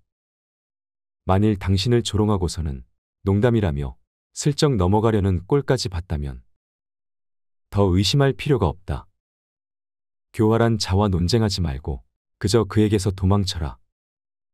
필자는 오늘 내용에서도 매우 큰 공감이 되었습니다. 우리 주변에 정말 이런 사람들이 은근히 많다고 생각되었습니다. 교활한 사람을 만나게 되면 무조건 손절해야 하는 1순위라고 생각되었습니다. 오늘 내용을 토대로 반복적으로 시청하시면 이런 특징들을 가지고 있는 사람들이 내 주변에 있는지 살펴보시고 지혜롭게 대처하시기를 바라겠습니다. 시청해 주셔서 감사합니다. 주위의 소중한 분들에게도 공유해 주시면 좋을 것 같습니다. 한 번 더 들으시면 가슴에 더욱 새겨질 것입니다. 반복 재생합니다. 우리나라가 우리들이 하늘나라로 여행을 떠나려면 뭐가 있어야 된다 그랬죠? 여건이 있어야 된다 그랬어요. 하느님을 꽉 붙잡고 살 때 우리는 여권 발급받을 수 있습니다. 하느님을 내가 꽉 붙잡고 있고 내 삶 전체가 하느님께 봉헌된 분은 지난번에 우리 최재용 신부님 어머니처럼 93살에 돌아가실 때 아들 손을 잡고 어떻게 돌아가실 수 있다고 씩 웃으면서 아, 어, 돌아가실 수 있어요. 어, 그래서 그 죽음이 죽음이 아니고 새로운 삶으로 옮아가는 여정일 뿐이에요. 우리 인간은 참 죽음을 많이 두려워하는데 죽음은 결코 무서운 게 아니에요. 새로운 삶으로의 변화죠. 어, 지금은 미국이 자구, 자유여행이 많이 되잖아요. 근데 옛날에는 미국에 여행 가려고 그래도 까다로웠어요, 안 까다로웠어요? 까다로웠어요. 미국에 가려고 그러면은 옛날에 이 미국 비자 발급 받으려면은요, 통장에 잔고가 얼마 있느냐, 너 갔다가 돌아올 수 있는데 보증인이 있느냐, 이런 거 다 물어봤어요. 또 막상 요즘은 미국에 이렇게 제가 로만 칼라를 차고 어 이제 미국 강의하러 갈 때 거기 여권 심사하는 데서 꼬치꼬치 물어요. 왜 왔느냐고. 그래서 강의하러 왔다. 도라는 갈 거냐? 나 한국에 갈 거다. 며칠 머물 거냐? 뭐 10일 머무를 거다. 정말로 까다롭게 물어보더라고요. 여러분들 어, 만약에 하늘나라에 막 들어가려고 그럴 때 이 베드로 성인이 물어볼 거예요. 너 성당은 열심히 다녔느냐? 어? 에? 또 가난한 이웃은 잘 돌보았느냐? 회개는 많이 했느냐? 하늘나라 열쇠 쥐고 있는 분이 다행히 베드로라 정말로 다행이에요. 이 베드로 성인이 좀 허술해요. 예. 베드로 성인이 호, 만약에 바오로 사도가 열 권, 열쇠를 갖고 있었으면요, 저를 포함해서 여기 있는 분들 들어갈 수 있는 분들 거의 없어요. 바오로 사도는 신약 성서 27권 중에 13권을 쓴 사람이에요. 얼마나 똑똑한 사람인지 몰라요. 그 똑똑한 사람들이 여러분들한테 따지면 여러분들 뭐 말 대꾸 제대로 할 수 있을 것 같아요? 어, 못해요. 그냥 얼버무리다가 그냥 아, 이거 자격 없네 그리고 그냥 딴 데로 보낼 거예요. 그나마 우리 베드로 사도 예, 참 베드로 사도는요 재밌어요. 베드로 사도는 거의 성서 글을 쓰지 않았어요. 써도 신약 성서에 두 권, 베드로 전서, 후서. 근데 얼마나 웃기냐면은 베드로 전서 5장, 후서 3장. 아주 간단하게 썼어요. 아주 간단하게. 뭐 베드로 성인이 쓴 건지 아니면 제자들이 쓴 건지 몰라도 그것도 베드로 전서를 읽어보면 너무 재밌어요. 어떻게 재밌느냐면은 예수님이 베드로 사도한테 너는 반석이다. 내가 내 위에 내 교회를 세우겠다 그랬죠. 그래서 이 베드로 성인은요 돌에 대한 게 굉장히 관심이 많았던 것 같아. 그래서 이 베드로 사도 어, 예수님 표현하는 걸 보면은 사람들에게는 버림을 받았지만 하느님께 선택된 값진 돌이란 돌이 돌 얘기만 해요. 베드로 그 베드로 전설을 보면은 내가 시온에 돌을 놓는다. 선택된 값진 모퉁이 돌이다. 이 돌을 믿는 이는 부끄러운 일을 당하지 않을 것이다. 집 짓는 이들이 내버린 돌이 그 돌이 모퉁이의 머릿돌이 되었네. 돌 얘기만 해. 돌 얘기만 베드로 사도는. 음, 근데 이 베드로 사도가 하늘나라 열쇠를 쥐고 있긴 있는데 허술하다는 이야기는요. 예수님께서 이제 예루살렘으로 올라가면서 그 이제 올라가는 길에 얘기를 해요. 나는 너 너에게 내 교회를 세우겠다. 그리고 그 얘기 하시자마자 뭐라고 그러냐면 나는 예루살렘에 올라가면은 어, 순환을 당하고 죽을 것이다. 그랬을 때 베드로가 뭐라고 그러냐면 아이코 맙소사 그런 일은 결코 일어나지 않을 것입니다. 내가 당신 지키겠다 이거예요. 지금 예수님은 죽으러 올라가는데 베드로는 국무총리 되려고 올라가는 거예요. 지금 예수님 생각하고 베드로 생각하고 완전히 달라요. 베드로는 하늘나라를 이해하지도 못했어요. 그러니까 이런 말을 하는 거예요. 아이쿠 맙소사 주님 그런 일은 결코 일어나지 않을 것입니다. 그러니까 예수님이 바로 뭐라 그러냐면은 사탄아 내게서 물러가라. 너는 나에게 걸림 돌이다. 돌 얘기 많이 나오죠? 너는 나한테 걸림 돌이다. 에, 이, 너는 하느님의 일은 생각하지 않고 사람의 일만 생각하는구나. 예수님은 하느님의 일로 인류를 구원하시기 위해 십자가에 못 박혀 돌아가시려고 그러는데 베드로는 뭐 하려고 올라간 거예요? 국무총리 하러 올라. 근데 아이 국무총리 아 왕이 돼야지 국무총리 될 거 아니에요. 근데 죽는다니까 아이쿠 맙소사 결코 주님 그런 일은 일어나지 않을 것입니다. 그러니까 예수님 뭐라 그래? 사탄아 내게서 물러가라. 너는 하느님의 일은 생각하지 않고 사람의 일 국무총리 될 일만 생각하는구나. 아 예수님이 또 그래도 그렇지. 바로 전에 내가 내 위에 내 교회를 세우겠다 그러다가 또 바로 사탄아 물러가라 그냥. 아 예수님 믿는 거 쉽지 않아요. 예수님 아주 당황스러운 일들을 너무 많이 하셔갖고. 예 베드로는 예수님이 붙잡히니까 세 번이나 예수님을 배반해요. 세 번이나. 이제 예수님 붙잡히고 다른 제자들은 그래도 다 도망가도 그래도 베드로가 그 열둘 중에 나요. 그래도 예수님 따라가고 어떻게 되나 지켜보려고 따라갔어요. 그러니까 그 종이 뭐라 그래요? 어, 당신도 그 갈릴리아 예수랑 같이 다니는 사람이군요. 그러니까 이 베드로가 뭐라 그래요? 난나이 여자가 무슨 말을 하는지 모- 이 여자가 지금 무슨 말을 하는지 모르겠네 이래요. 근데 아, 당신 정말 그 사람하고 있었는데 그랬더니 나는 그 사람을 알지 못하오 그래요. 참, 이 베드로가 할 일이에요. 어? 예수님하고 정말로 내 위에 음? 내 교회를 세운다 그러고 정말로 주님 그런 일은 내가 보호하겠습니다. 막 이런 사람인데 나는 그 사람 알지 못하오. 그러니까 세 번째로 확실히 당신 그 사람 예수 그리스도와 예수와 같이 다니던 사람 맞는데 그러니까 베드로는 이렇게 얘기해요. 내가 내 말이 거짓말이라면 천 벌이라도 받겠다고 맹세하면서 나는 그 사람을 모르고 그래요. 아주 배신을 해도 확실히 해요. 확실히. 어. 얼버무리고 한 게 아니라 확실히 배신을 해요. 예수님 배반 세 번 했죠. 따라가는 이유도 몰랐죠. 그리고 베드로는요 냉담 생활도 해요. 어떻게 냉담 생활을 하냐면 예수님 십자가 못 박혀 돌아가셨어요. 돌아가시니까 베드로가 뭐라고 그러냐면 나는 물고기 잡으러 간다 그래요. 어. 물고기 잡으러 간다는 얘기는 뭐야? 내가 예수님 따라다니기 전 생활로 돌아간다는 거예요. 이게 냉담이지 뭐예요? 냉담. 어? 지금 수세 수제자라는 사람이 그래갖고 가서 물고기 잡아요. 그때 예수님이 나타나잖아요. 많이 잡았느냐. 그러니까 그 기간 동안 냉담한 거 냉담. 그러니까 짧게 냉담까지 한 사람이 냉담까지. 뭐 그런 사람이 하늘나라 여권 심사한다고 이렇게 서 있는 거예요. 자, 여러분들 가갖고 따질만해 안 따질만해요? 따질만 해요. 당신은 냉담한 적 없냐? 당신은 배반한 적 없냐? 당신 예수님 딴 생각으로 따라다닌 적 없냐? 대충 따지면 베드로가 베드로가 눈 깔고 그래 나도 그런 적이 있었지 들어가. 그래. 그래서 나는 예수님께서 어, 베드로한테 하늘나라 열쇠 준 것에 대해서는 굉장히 희망적이에요. 왜? 그 실수투성인 그 베드로한테 열쇠를 줬다는 것은 우리들도 실수투성이에요. 저나 여러분이나 인생 살다 보면 흠 없는 사람들이 있어요? 흠투성이에요. 그런데 그 기가 막힌 배반까지 한 베드로, 냉담 생활까지 한 베드로를 하늘나라에 열쇠를 주고 그 위에 교회를 세운 하느님은 얼마나 마음이 넓으시겠어요. 그렇지 않겠어요?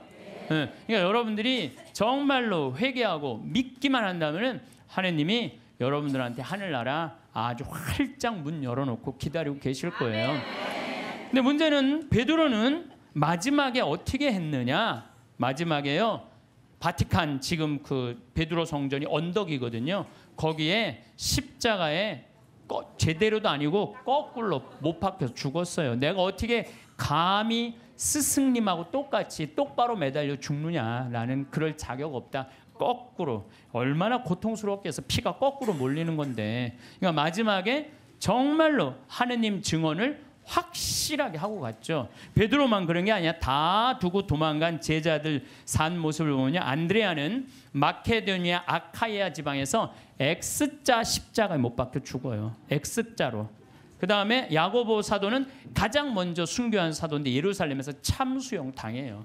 야고보 사도는 필립보는 소아시아에서 기둥에 매달려서 순교하고 바로톨로메오는 아르메니아라는 곳에서 전도하다가 십자가에 거꾸로 매달려 순교해 바로톨로메오도 토마는 인도에서 도끼에 맞아 죽어요.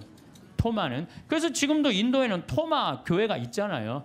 토마 마테오는 아프리카 에티오파에서 선, 설교하다가 선교하다 참수용 당하고 알페오의 아들 야고보는 성정 꼭대기에서 떨어뜨려요. 그래갖고 떨어져서 죽어요.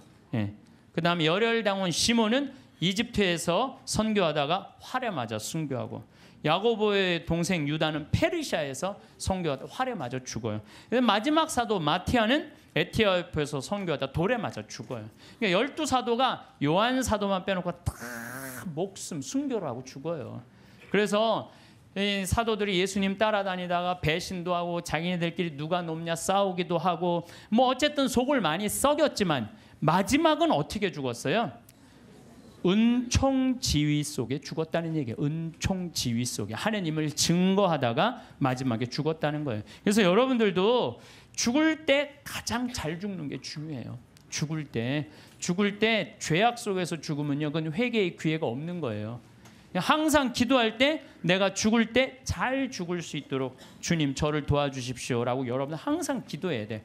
그래갖고 항상 죽음을 잘 맞이할 수 있도록. 그래서 늘 주님을 증거하고 주님 속에서 어, 살아갈 때 돌아가실 때 씩 웃으면서 어, 죽을 수 있다는 얘기죠.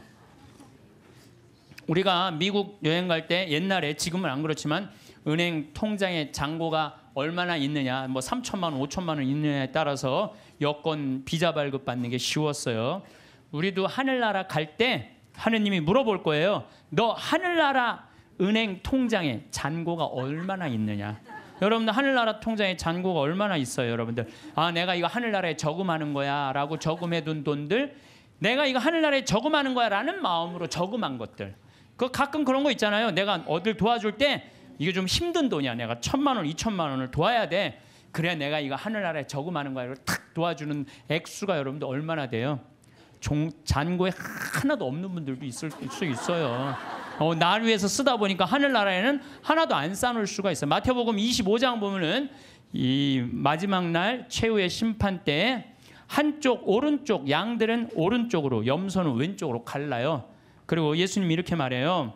너희들은 내가 굶주렸을 때 먹을 것을 주었고 목말랐을 때 마실 것을 주었고 나그네 되었을 때 따뜻하게 맞아 주었고 헐벗었을 때 입을 것을 주었고 병들었을 때 돌보아 주었고 감옥에 갇혔을 때 찾아 주었다. 그러니까 오른쪽에 있는 양들이 그래. 내가 언제 내가 그랬어요? 내 이웃 하나한테 해준 것이 곧 나에게 해준 것이다. 아, 기가 막힌 말이죠.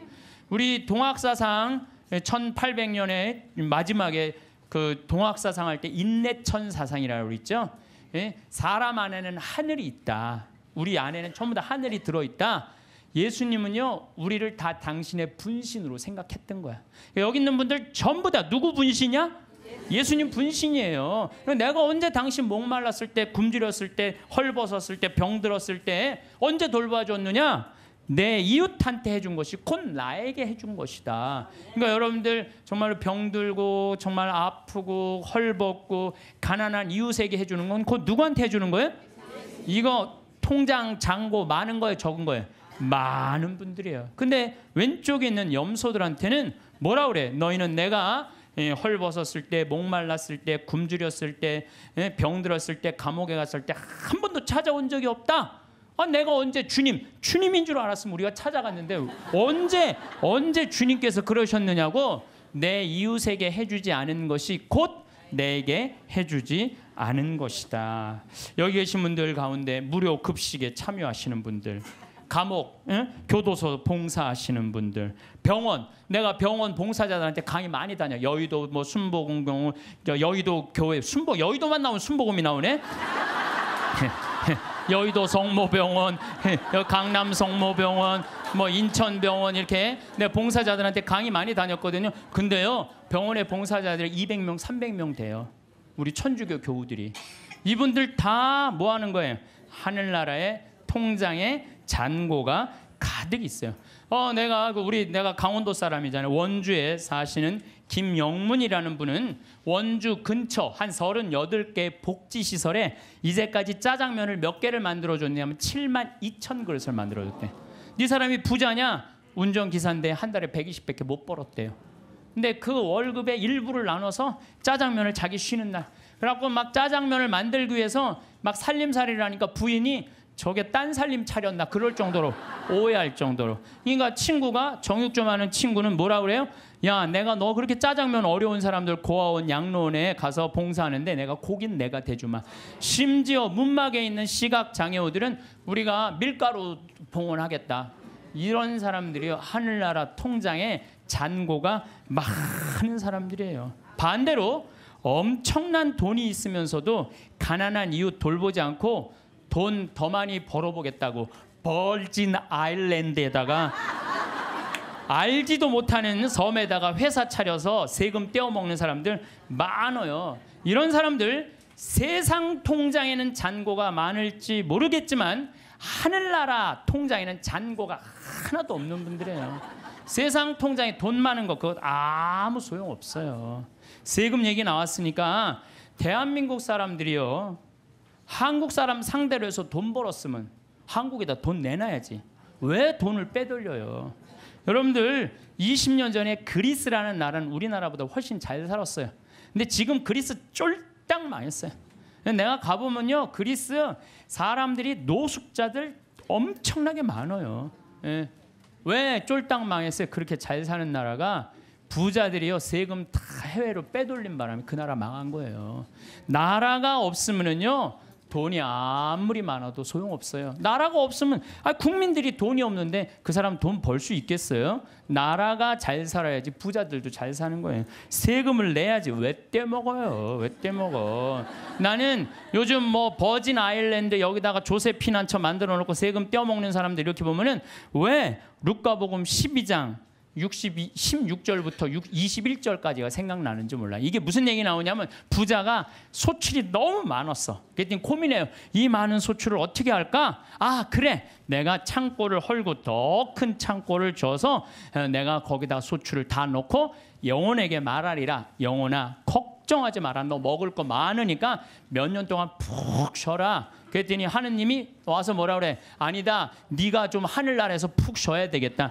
네가 네가 오늘 죽는 날이다. 어? 너 너한테는 넉넉하면서도 하느님 나라를 위해서 가난한 너는 오늘 죽는 날이다. 여러분들 돈이 아무리 많으면 뭐예요? 오늘 죽으면요 아무 소용이 없어요. 나는 창고를 져서 거기다가 쏟아 넣는 그 이 부자나 버진 아일랜드에다가 그 몇백억 대고 갖다 놓고 영원아 걱정하지 말아라. 내가 버진 아일랜드에다 내가 돈 넣어놨으니까 너 오래 살아라. 오래 살기 쉽지 않아요. 세금을 내야지 왜 세금을 안 내요? 하다못해 예수님도 세금 냈어요. 마태복음 17장 24절을 보면요. 가파르나움 갈릴레아 호수의 바로 위에 가파르나움 성전이 있어요. 그러니까 베드로한테 사람들이 물어봐요. 가파르나움 성전 사람들이 니네들 왜 성전세를 안 내냐? 근데 성서를 보면 베드로는 역시 똑같아요. 일단 낸다고 우겨요. 낸다 우리. 어. 성서를 보면 굉장히 웃겨요. 낸다 우리. 그리고 이제 예수님한테 가서 물어봐요. 예, 예수님 성전세 내려는데 어떻게 하면 좋으냐고. 그랬더니 예수님이 너 가서 물고기 잡으면은 그 물고기 입에 한 스타테르가 있을 것이다. 그거 내라.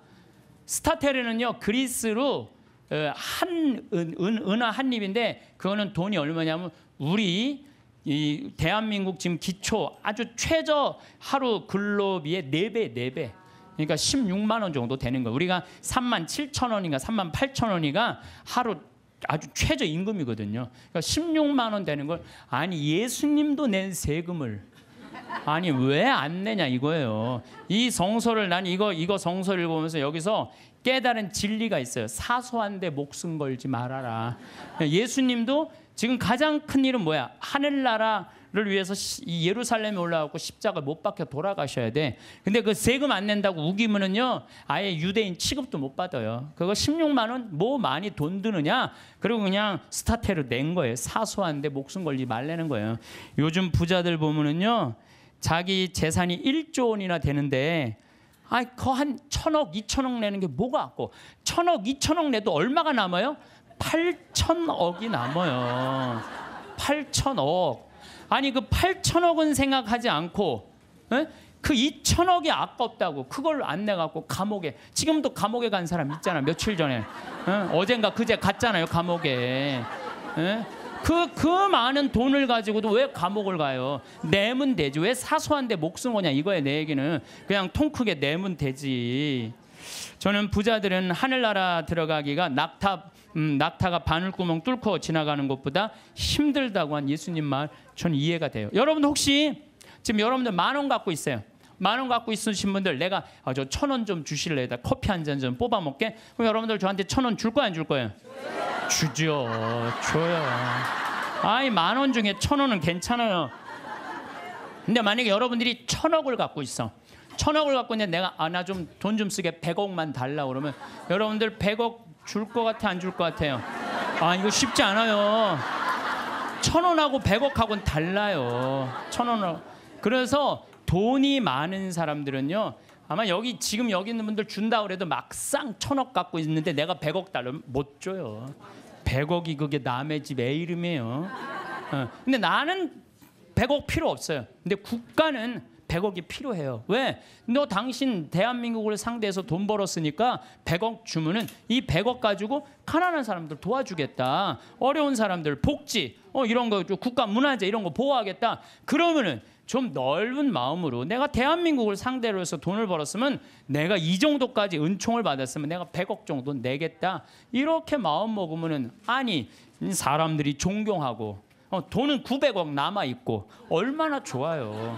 근데 사람은요 이상해요. 900억은 생각하지 않고 그 100억이라는 엄청난 돈 이것도 아까운 거예요. 그러니까 벌진 아일랜드에다가 그냥 갔다가 우리나라 한 달에 한 300만 원 버는 사람들이 세금을 한 36만 원, 40만 원 정도 내요. 그냥 공식적으로 국가에. 근데 한 10억 버는 사람들은 1년에 한 3억 정도 내요. 물론 부자들이 많이 내요. 일반 평범한 우리 셀러리맨보다도 많이 내요. 근데 셀러리맨들은 떼어먹을 수가 없어요. 그뭐 얼마를 떼어먹나요? 그걸 떼어먹어. 다 내요. 근데 이 돈 많은 사람들은요.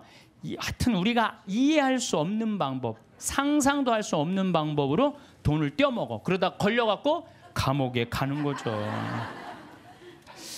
요즘 대한민국 교육을 보면은 저는 훈, 훌륭한 인격 쌓는 교육은 안 시키고 돈 쌓는 훈련만 시키는 것 같아요. 돈 버는 것만 가르치는 거예요. 돈 버는 법만 가르치고 돈을 제대로 의미 있게 쓰는 법을 안 가르치기 때문에 갑부가 돼도 단 한 푼도 나라를 위해서 어려운 이웃을 위해서 쓸 줄 모르는 분들. 이런 분들을 뭐라고 그러냐면 졸부라고 그래 졸부. 돈은 많은데 쓸 줄 모르는 사람들을 우리가 뭐라 그래? 졸부라 졸부 졸부. 대부분은 안 그러시겠지만 금융가들 재벌가들 정치인들은 돈 쌓는 재미로 눈에 뵈는 게 없어요. 법도 그냥 눈에 안 보여. 예, 그래갖고 정의라고는 찾아볼 길이 없고 정의로운 사회라는 인식 자체를 하지 않는 것 같아요. 우리 삶이 언제 끝날지 모르잖아요. 나중에 돈 벌면 내가 어려운 이유가 하느님께 봉헌해야지 하는 사람들 끝까지 아무것도 못해요. 나중에 돈 벌면 한다는 사람 끝까 나는 나중에 보재는 놈 하나도 안 무섭고 응, 나중에 하느님한테 봉헌하겠다는 사람 하나도 안 믿어요. 내가 본당 신부할 때 정말로 잘 먹고 잘 살 때는 성당 찾아오지도 않아요.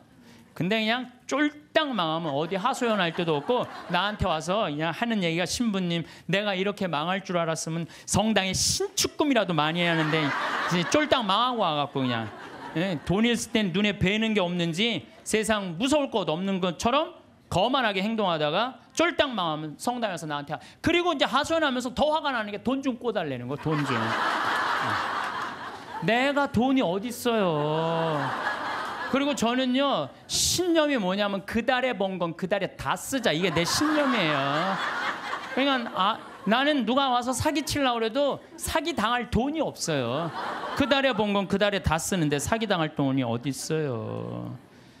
여러분들 나중에 돈 벌면은 어려운 사람 돕겠다는 사람 이 생각하는 사람 아예 머릿속에서 지우세요.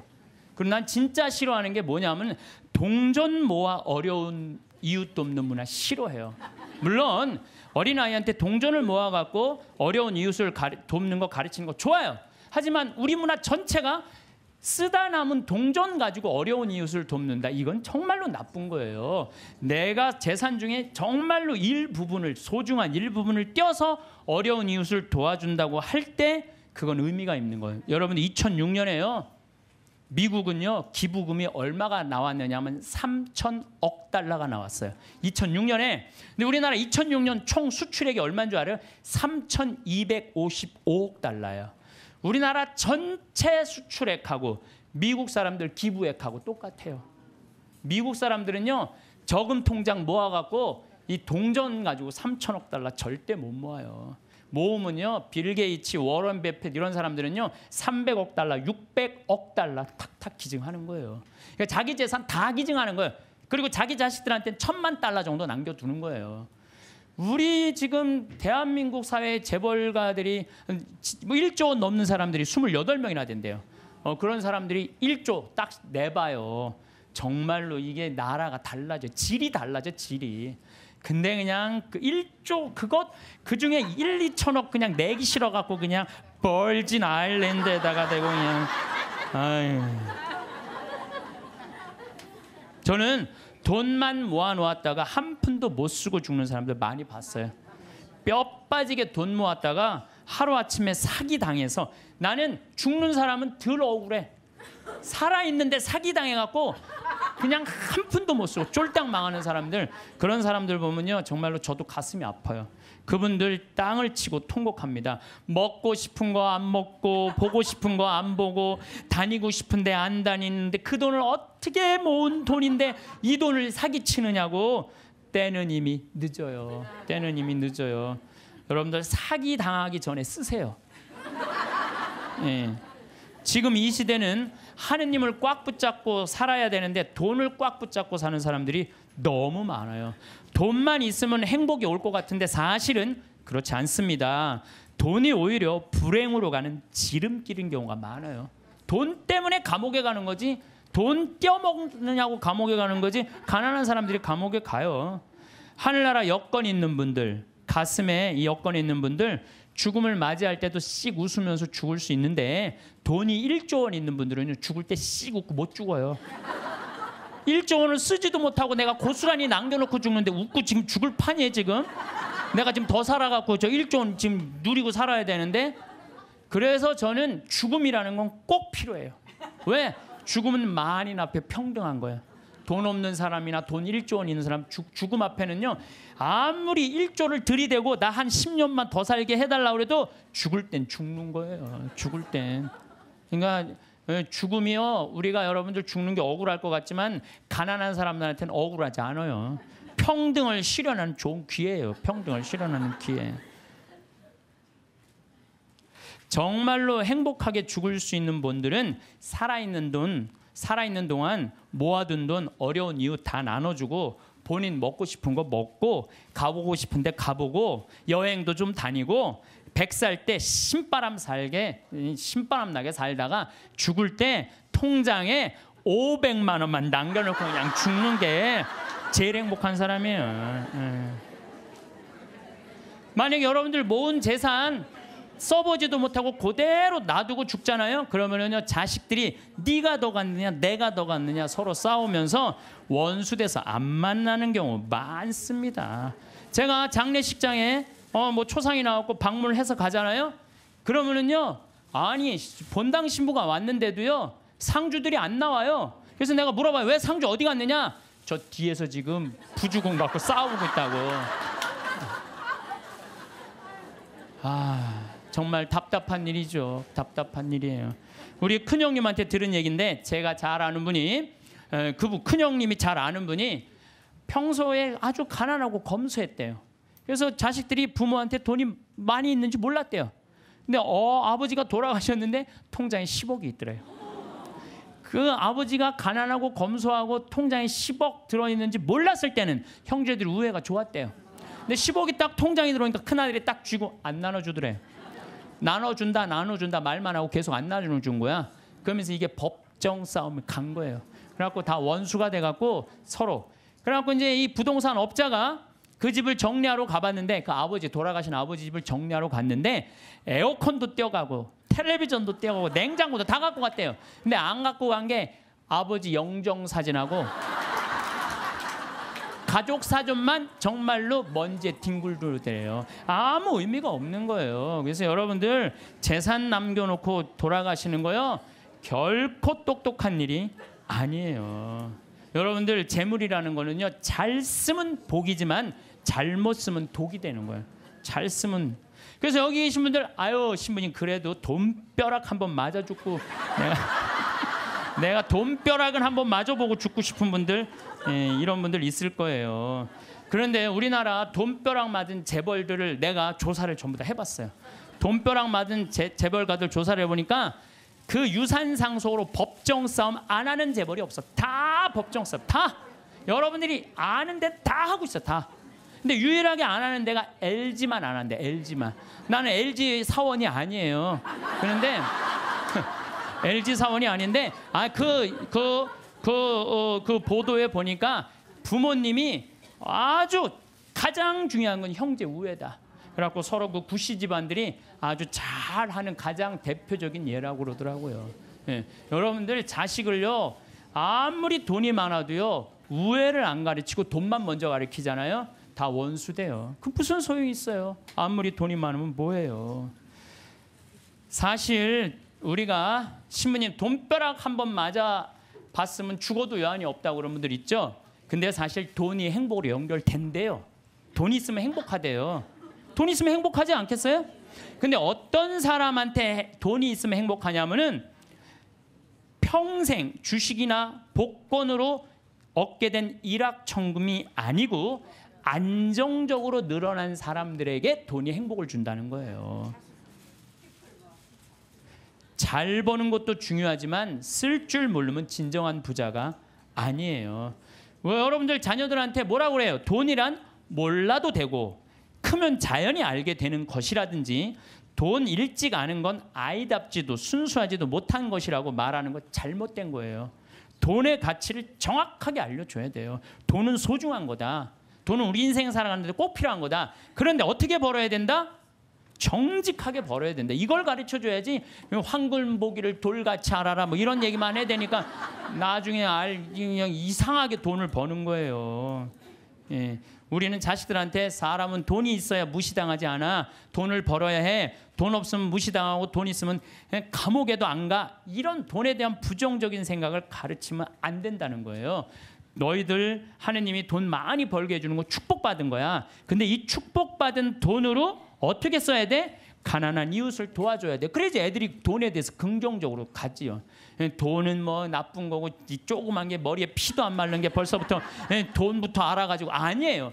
유대인들은요 어렸을 때부터 경제관념을 가르친다는 거예요. 그러니까 걔네들이 1년에 미국에서 사는 아들이 이스라엘에 30억 달러씩 이 이스라엘 본국에 돈 주잖아요. 나라를 위해서 쓰는 거 아니에요. 나라를 우리는 뭐 버진 아일랜드에 떼어먹고 있는데 미국 애들은요 아이 유대인들은 무서워요. 1년에 30억 달러 국가에 갖다 줘요. 그러니까 그 이스라엘이 그 유, 저기 모슬렘 6억 속에서 살아남는 거예요. 하, 여기 계신 분들 정말로 돈벼락 한번 맞아보고 싶죠. 실제로 로또에 당첨된 분들 통계를 보면은 로또 당첨되고 나면은 행복할 것 같으냐? 완전히 행복이 찾아오느냐? 아니래요.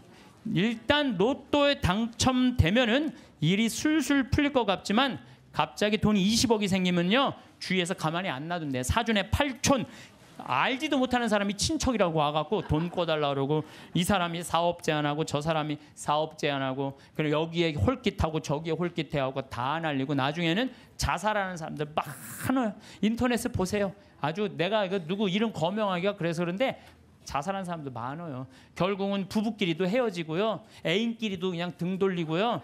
돈이요. 사람과 사람을 이어주는 게 아니라 사람과 사람을 끊어주는 게 돈이에요. 영국에 28억 당첨된 사람이 있었어요.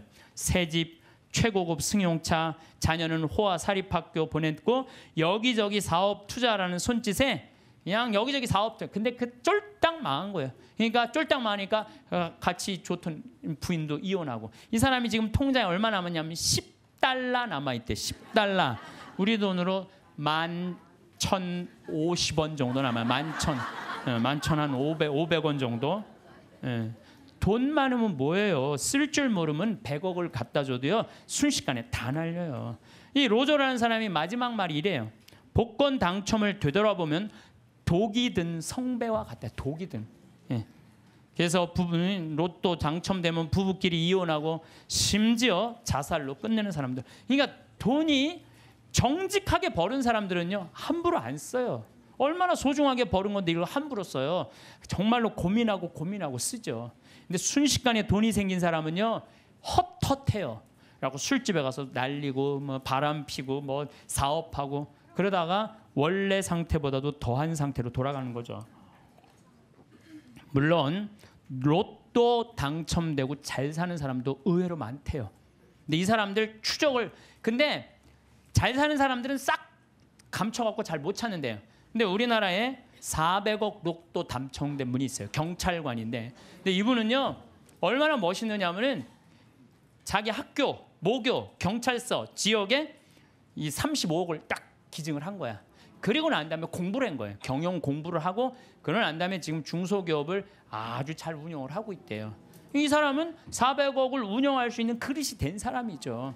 예. 그래서 이 나, 돈벼락 맞은 사람들이 행복하게 사는 길은 뭐냐면 나누는 거예요. 나누는 거.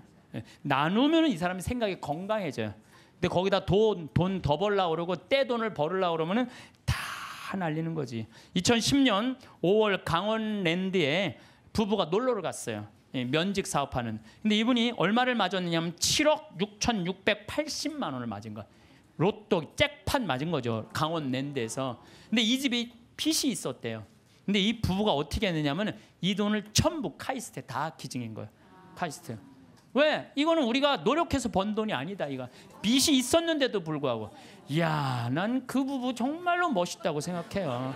왜? 저는 이렇게 생각해요. 그 돈으로 이 사람이 뭐를 했을지는 잘 모르지만은 그돈 갖고 딴 거 하는 것보다 이렇게 딱 하면 다시 본 생활에 돌아와서 성실하게 살아요.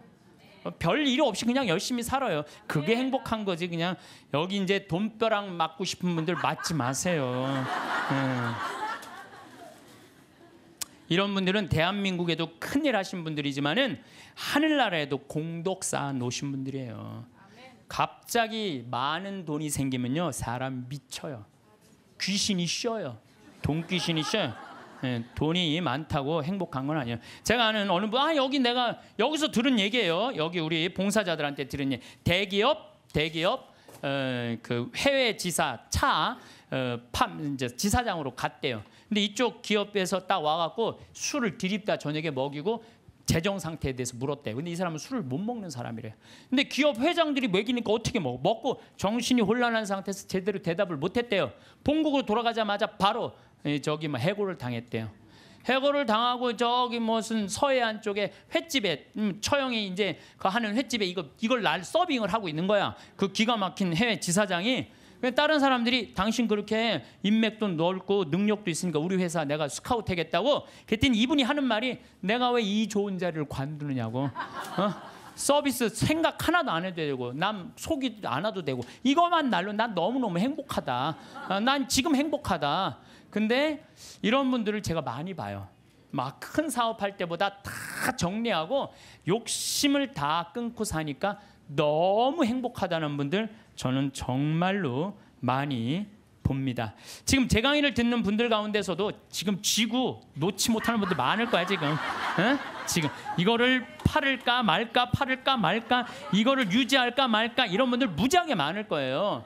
놔 보세요. 놔 보면요 굉장히 편안해요. 그거 대도 안 되는 공장 운영하면서 매달 그냥 뭐 월급 마친다고 여기다 돈 끌고 저기다 평화로운 날이 하루도 없는 거야. 평화로운 날이 싹 정리해 보세요. 얼마나 마음이 편안한가. 뭘 그렇게 쥐려고 그러세요? 쥔다고 재물은 져지는 게 아니에요. 진다고 져지는 게 아닙니다. 재물은. 미국의 할리우드가 가장 성공한 사람들이 모여 사는데 거기가 자살률 우울증이 가장 많습니다. 구약 성서에 샘족은 9년 동안을 일하고 1년은 반드시 쉬는데 아무것도 안 하고. 그래서 저는 여기 계신 분들 남편이 뭐 한 20년 동안 하다가 구조조정 당해갖고 했어. 아 당신 빨리 나가서 돈 벌어 돈 벌어. 이거 죽음으로 내보는 거예요. 당신 20년 동안 열심히 일했으니까 한 2년은 여행도 다니고 먹고 싶은 것도 먹고 하고 싶은 것도 하고 어디가 좀 피정도 하고 어디 학교도 좀 다니고 이러면서 재충전을 하는 사람들은 실패하지 않아요. 그런데 구조조정 당하자마자 뭘 해야 된다고 생각하고 가게 차리고 사업하는 사람들 거의 다 다 쫄딱 망해요. 통계적으로 한 95%가 망한대요. 그러니까 서둘른다고 되는 일이 아니에요. 조금 여유 있게 살아가면요. 들 쓰면 되지. 뭘 그렇게 많이 쓰려고 그래요. 집에서 14장 이 3절에 보면 인색한 자에게 재물이 무슨 소용이 있으며 수전노가 돈을 가지고 무엇하랴. 여러분들 인색한 사람한테 돈이 있으면 뭐예요? 수전노한테 돈이 있으면 뭐? 안 쓰면 그 돈은 죽은 거, 죽은 돈이에요. 안 쓰면 죽은 돈이에요. 돈이 많으면 행복할 수 있지만은 돈 때문에요 살인도 일어나요. 올 2013년 2월 3일 25살 먹은 둘째 아들이 50살 막 넘은 부모님 수면제 먹이고 연탄가스로 죽였어요. 기억나시죠? 형도 밤새 형도 밤새 어떻게 예, 술 먹이고 형 이거 술 깨는데 우유가 좋아 우유 먹이고 그리고 죽였어요. 근데요 이 부모님이 콩나물 공장을 했는데 보험을 32개를 들어뒀대요. 그리고 이 보험금이 26억이 된대. 그 얘한테 떨어지는 게 거의 50억 정도가 떨어진대. 25살. 돈 때문에 죽은 거예요. 돈 때문에. 어, 그것도 누구한테 죽어? 자식한테 죽은 거. 돈 때문에. 물론 이 부모가 이 둘째 자식을 사람 취급하지 않았대. 이 자식은 한이 있었던 거죠. 어, 돈은 많은 부모가 자기를 사람 취급도 하지 않은. 예. 돈은 나눠서 가질 게 없는 식구들이 훨씬 서로 아끼고 사랑할 수 있어요. 돈보다는 형제간의 우애를 더 중요시해서 키 이렇게 키우는 집안은 하느님 꽉 붙잡고 사는 집안이에요. 돈은요 남한테 빌리러 다니지만 않을 만큼만 있으면 돼요. 또 넉넉하게 있다 하더라도 자식들이나 부모 형제들끼리 돈 돈 돈 하면서 사는 게 아니고 하느님 나라 영광 위해서 또 하느님을 위해서 쓰면 돼요. 돈 없으면 안 쓰면 돼. 안 쓰면. 저는요. 저는 아울렛이 뭔지를 몰랐어요. 아울렛이 뭔지를 몰랐는데 내가 이제 강원도 평창 이제 강의 들어왔다 나갔다 하는 동안 어 뭐 여주 쪽에 엄청나게 큰 아울렛이 있더라고요. 어, 그래갖고 가다가 야 저 양복 강의할 때 양복 없으면 양복 한번 사러 가자. 양복 딱 들어갔는데 웃돌이 하나를 골랐는데 200만 원 하나에. 그래갖고 내가 딱 접어두고 가자. 그래갖고 문정동 아울렛에 가갖고 50만 원을 가지고 이 얘기 그거 거기서 산 거예요. 양복 두 벌. 양복 두 벌. 내가 평화방송에서 찍는 게 거기서 찍 산 거예요. 양복 두 벌에 바지 네 개.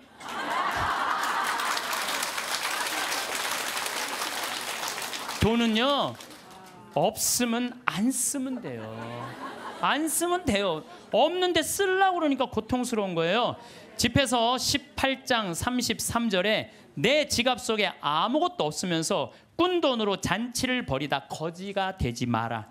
그것은 사실 자신의 생명을 거스르는 행동이다. 그러니까 여러분들 돈이라는 건요 우리가 너무 나쁘다고 생각할 필요도 없고 너무 좋다고 생각할 필요도 없어요. 내가 돈의 노예가 안 되고 돈을 내가 부리는 주인이 돼야 돼요. 오늘도 황창현 신부님의 행복 특강 잘 들으셨나요?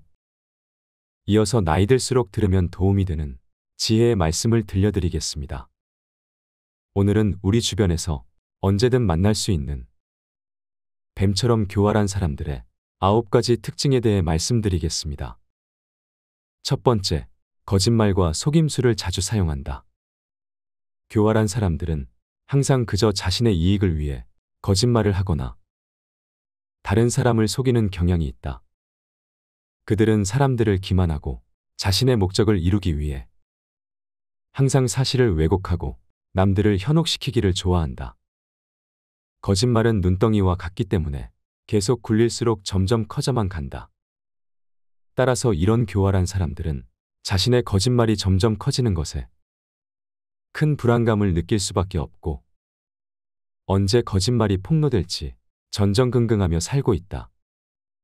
한 개의 거짓말을 한 사람은 이것을 유지하기 위해 다시 스무 개의 거짓말을 생각해내지 않을 수 없기에 그 거짓말의 크기는 점점 커진다. 만약 내 주변에 거짓말하거나 속이는 사람이 있는지 알고 싶거든. 그 사람의 태도를 보아라. 사람은 자신에 대한 거짓말을 할 때 가장 큰 소리를 내게 된다. 방귀 낀 놈이 성낸다는 말이다. 제대로 사람을 속이려는 목적으로 완벽하게 거짓을 꾸며낼 수는 있지만 끝까지 그것을 관철시킬 수는 없다. 거짓말은 무게가 없기 때문에 바라보면 꼼짝없이 들통나게 되어 있다. 화려한 겉모습이나 그럴싸한 말을 하는 사람이 있다면 그 사람의 본질을 알기 전까지는 조금은 거리를 두고 천천히 알아가는 것이 좋다. 두 번째, 자기 의견을 강요하거나 억지를 부린다. 이들은 말도 안 되는 억지를 부리며 자기 의견을 일방적으로 남에게 주입하려 한다. 우리 주변에 생각보다 많이 보이는 이런 사람들은 본인이 옳다고 생각하는 견해나 가치관을 남에게 항상 강요한다. 하지만 강요받는 쪽도 이것이 반드시 옳다고 생각하는 것은 아니지만 그저 인간관계가 깨질까봐 억지로 수긍하고 넘어가는 경향이 있다. 교활한 자들은 이런 사람들의 배려를 이용하여 자기 의견이나 방법을 남에게 강요한다. 이런 사람은 우월성을 과시하고 싶거나 자신의 불안감을 없애려는 욕망을 가졌을 가능성이 높으므로 주의해야 한다. 세 번째, 타인을 비하하고 조롱한다. 교활한 사람들은 다른 사람들을 비하하거나 조롱하여 상대방을 약화시키고 자신의 우위를 강조하려 한다. 이런 사람들은 전형적으로 약자에게는 강하고 강자에게는 약한 비겁한 사람들이다. 이런 사람들은 기본적으로 약해 보이는 사람들에게는 막 대해도 된다라는 인간으로서는 가져서는 안 돼. 한심한 태도를 가지고 있으며 누군가와 대화를 할 때도 자신이 늘 우위에 서려고 한다. 스스로를 대단한 사람이라 생각하고 전문가는 자기밖에 없다고 생각하며 다른 사람이 자신에게 이의를 제기하는 것을 참지 못한다. 대화를 할 때도 상대방을 조롱하지 못해 안달이다. 이런 자들은 다른 사람을 굴복시키는 방법을 정말 많이 알고 있으며 자신이 뭔가 잘못 생각하거나 혼동하면 잘못을 인정하는 것이 아닌 무조건 다른 사람들 탓으로 돌린다. 이런 사람들이 주변에 있다면 되도록 취약한 부분을 보여서는 안 된다. 싸움이 될 만한 일은 피하고 감정적으로 도전해 오는 것이 분명할 때라도 상대하지 말고 일단 무시하는 게 좋다. 대화를 할 때도 주제에서 벗어나지 않도록 주의한다. 그저 냉소주의로 대응하거나 대화를 거절하라. 교활한 사람들에게는 대화하기 싫다는 은밀한 의사표시는 먹혀들지 않는다. 따라서 자신의 뜻을 분명하게 밝힐 필요가 있다. 네 번째, 말과 행동이 일치하는 경우가 별로 없다. 교활한 자들의 특징은 말과 행동이 일치하지 않는다는 것이다. 따라서 이런 사람들을 파악하려거든 말과 행동이 일치하는지 살펴봐라. 교활한 비겁자들은 말과 행동이 완전히 따로 놀지만 그 점을 알아차리기까지는 시간이 좀 필요하다. 그들이 앞세우는 말도 나름 조리 있고 이성적이며 짜임새가 있기 때문이다. 따라서 객관적인 사실과 행동에 비추어 그들을 판단할 수 있어야 한다. 이 말과 저 말 사이에 일관성이 있는지도 살펴봐야 한다. 이들은 병적인 거짓말쟁이다. 그들의 위선과 기만, 자기 모순을 놓쳐서는 안 된다. 만일 내 주변에 있는 사람의 말과 행동이 계속해서 일치하지 않는다면 거리를 두는 것이 좋다. 다섯 번째, 자기 중심적인 태도를 보인다. 교활한 사람들은 늘 자기 중심적으로 생각한다. 같이 더불어 사는 사회에서는 타인을 배려해야 하는 상황이 많지만 이들은 남에 대한 배려를 찾아볼 수 없다.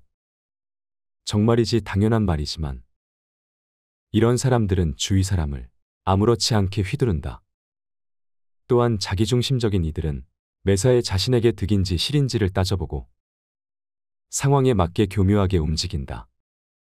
그들과 지내며 옆에서 지켜보면 자기 보신을 위해 마치 카멜레온처럼 상대의 권력이나 영향력에 따라 태도를 바꾸는데 이들의 이런 성향이 바뀔 가능성은 극히 낮다. 따라서 이들을 바꾸려고 하지 말고 원래 그런 사람이라고 생각해야 한다. 마음을 깊이 주지 마라. 시간을 낭비할 뿐이니 이런 사람들과는 그저 표면적인 관계를 유지하거나 차라리 피하는 것이 좋다. 여섯 번째, 이기적인 행동을 한다.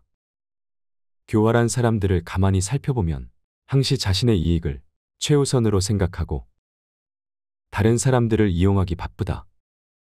항상 자기 생각만 하기 때문에 타인에게 무엇이 필요한지, 자신의 행동이 타인에게 어떤 영향을 미치는지는 절대로 고려하지 않는다. 이런 사고방식은 이기적 태도와 사회적 의무를 무시하는 것으로 나타난다. 그들은 항상 자신만을 생각하기에 자기에게 도움이 되는 사람에게는 친절하고 배려심 많은 모습을 보여주지만 자신에게 필요 없다고 느껴지는 사람들에게는 관심을 갖지도 않고 배려하는 모습을 보이지도 않는다. 만약 내 주변에 있는 사람이 항상 자기의 이익을 챙기려 하거나 남의 것을 자기 것인 것 마냥 탐내는 사람이라면 거리를 두는 것이 좋다. 이러한 사람들은 남에게 배려심 많은 척 연기를 하지만 사소한 행동들에서 들통나기 마련이다. 예를 들자면 평소에는 돈을 아끼는 사람이 다른 사람들과 함께하는 모임에서는 함께 거둔 회비로 남들보다 비싼 걸 먹고 세금으로 산 물건들을 마치 자기 것처럼 쓰는 행동 말이다. 남의 돈을 내 돈처럼 쓰는 사람들 중 이타적이고 배려심 많은 사람은 없다. 일곱 번째, 계획적인 행동을 한다. 교활한 사람들은 자신의 목적을 달성하기 위해 계획을 세우고 그것을 철저하게 실행한다. 그들은 항상 여러 상황에 대비하여 미리 계획을 세우고 그 상황을 이용해 자신이 원하는 것을 얻고자 끊임없이 행동한다. 이런 사람들의 계획 속에는 남들이 위험해지는 것도 포함되어 있다. 이들은 자신은 안전한 곳에 있으면서 남을 이용하여 자신이 이득을 본다. 이런 사람들은 그저 겁이 많아서 그렇게 행동하는 것이 아니다. 이런 비겁자들은 유능하고 교활하며 그 자리에서 결단을 내릴 수 있는데도 자신의 신망이나 권력을 지켜야 할 때를 제외하고는 절대로 앞에 나서지 않는 특징이 있다. 자신을 위해서는 누구보다 앞장서지만 자신과 관계없는 일 때문에 나서야 할 때는 침묵하거나 겁쟁이처럼 구는 것이다. 비겁자들의 더 큰 특징은 남을 위험에 빠뜨린다는 것이다. 남을 돕거나 지켜주는 대신 적의 희생양으로 삼거나 남에게 자기 죄를 덮어 씌우는 것이다. 권력의 자리에는 이런 비겁자들이 쓸어 담을 만큼 많다. 결코 위험을 무릅쓰지 않는 그들은 교활하게 남의 등을 떠밀면서 잘 되면 자신의 뛰어난 역량 때문이라고 내세우고 잘못되면 남에게 책임을 떠넘긴다. 은밀히 나누었던 약속도 필요에 따라 서슴지 않고 부정한다. 이렇게 해서 주변을 말을 잘 듣는 추종자로만 채운다. 문제는 그 대가를 남이 치르게 된다는 것이다. 예를 들어 어떠한 기업이라면 우수한 인재가 나가버리기 때문에 사세가 기울고 정치가라면 국민이 그 대가를 치르게 된다. 무능한 지도자가 자신의 안위만 보호하다가 나라를 위태롭게 만든 일은 동서고금의 역사에서 쉽게 찾아볼 수 있다. 이런 사람이 보인다면 반드시 피하라. 여덟 번째, 타인을 조정하고 상황을 이용한다. 교활한 사람들은 다른 사람들을 조종하고 상황을 이용하여 조용히 압력을 가한다. 그들은 상황을 이용해 다른 사람들을 자신의 의지대로 움직이도록 유도하며 교활하게 자신의 목적을 달성하려 한다. 이런 사람들은 타인의 심리를 조종하는 능력이 매우 능한 사람이다. 이런 사람을 알아보는 법은 어렵지 않다. 먼저 우물에서 숭늉 찾는 사람을 조심하라. 교활한 사람들은 먹잇감을 함정해 빠뜨리는 것에 급급하기 때문에 자기가 점찍은 상대의 삶에 정광석화처럼 침투하고 상대를 올가매는 약속들을 되도록 빨리 받아낸다. 타고난 포식자인 그들은 자신의 호가면 가면이 오래 버틸 수 없다는 것을 알기에 상대를 잡으려면 본색이 드러나기 전에 신속히 해치워야 한다는 것을 잘 알고 있는 것이다. 이들이 남에게 침투하는 타이밍은 상대가 뭔가 큰 일을 겪고 힘들어 할 때다. 그들은 상대의 빈틈을 노려 누군가가 함께 해주고 위로해 주기를 바라는 상대의 욕구 속에 따리를 튼다. 그렇기에 친근함과 인간적인 정을 착각하지 마라. 이들은 자신을 꾸며내고 부풀리기도 하지만 특히 제멋대로 밀고 들어와 정신을 홀린다. 그들은 지나칠 만큼 친근하게 굴면서 상대의 생활 공간 속으로 함부로 비집고 들어간다. 이런 사람을 피하지 않고 자주 만나다 보면 이들의 계획에 말려들어 자칫 신뢰받을 자격이 없는 사람을 덜컥 신뢰하게 될지도 모르기 때문이다. 아홉 번째, 능력에 비해 지나치게 자신만만하다. 교활한 사람들은 다른 사람들을 유인하고 속이기 위해 자신만만한 척을 한다. 그들은 다른 사람들의 관심을 끌기 위해 자신의 능력을 부풀리고 과장한다면 이런 부류일 수 있다. 어리석은 사람들은 늘 확신으로 가득하고 자신만만하다. 반면에 똑똑한 사람은 늘 의심에 시달리기 때문에 오히려 자신감이 덜하다. 그런데 연구 결과에 따르면 누구나 자신감이 넘치는 사람을 더 신뢰하는 경향이 있다고 한다. 그러니 역설적이게도 어리석은 사람이 더 신뢰받을 수도 있는 셈이다. 교활한 자들의 호언장담과 남들을 깔보는 경향은 쉽게 표가 난다. 그들은 허세로 가득하고 자랑할 기회를 절대 놓치는 법이 없으며 모르는 게 없고 안 가본 데가 없고 못하는 게 없고 당연히 자신이 최고다. 그래서 다른 사람들을 깔보는 경향이 있다.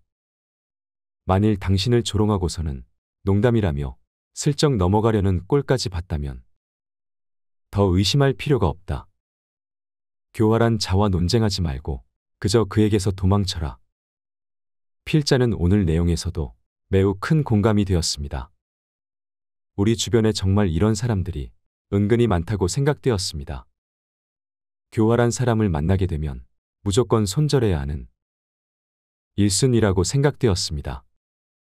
오늘 내용을 토대로 반복적으로 시청하시면 이런 특징들을 가지고 있는 사람들이 내 주변에 있는지 살펴보시고 지혜롭게 대처하시기를 바라겠습니다. 시청해 주셔서 감사합니다.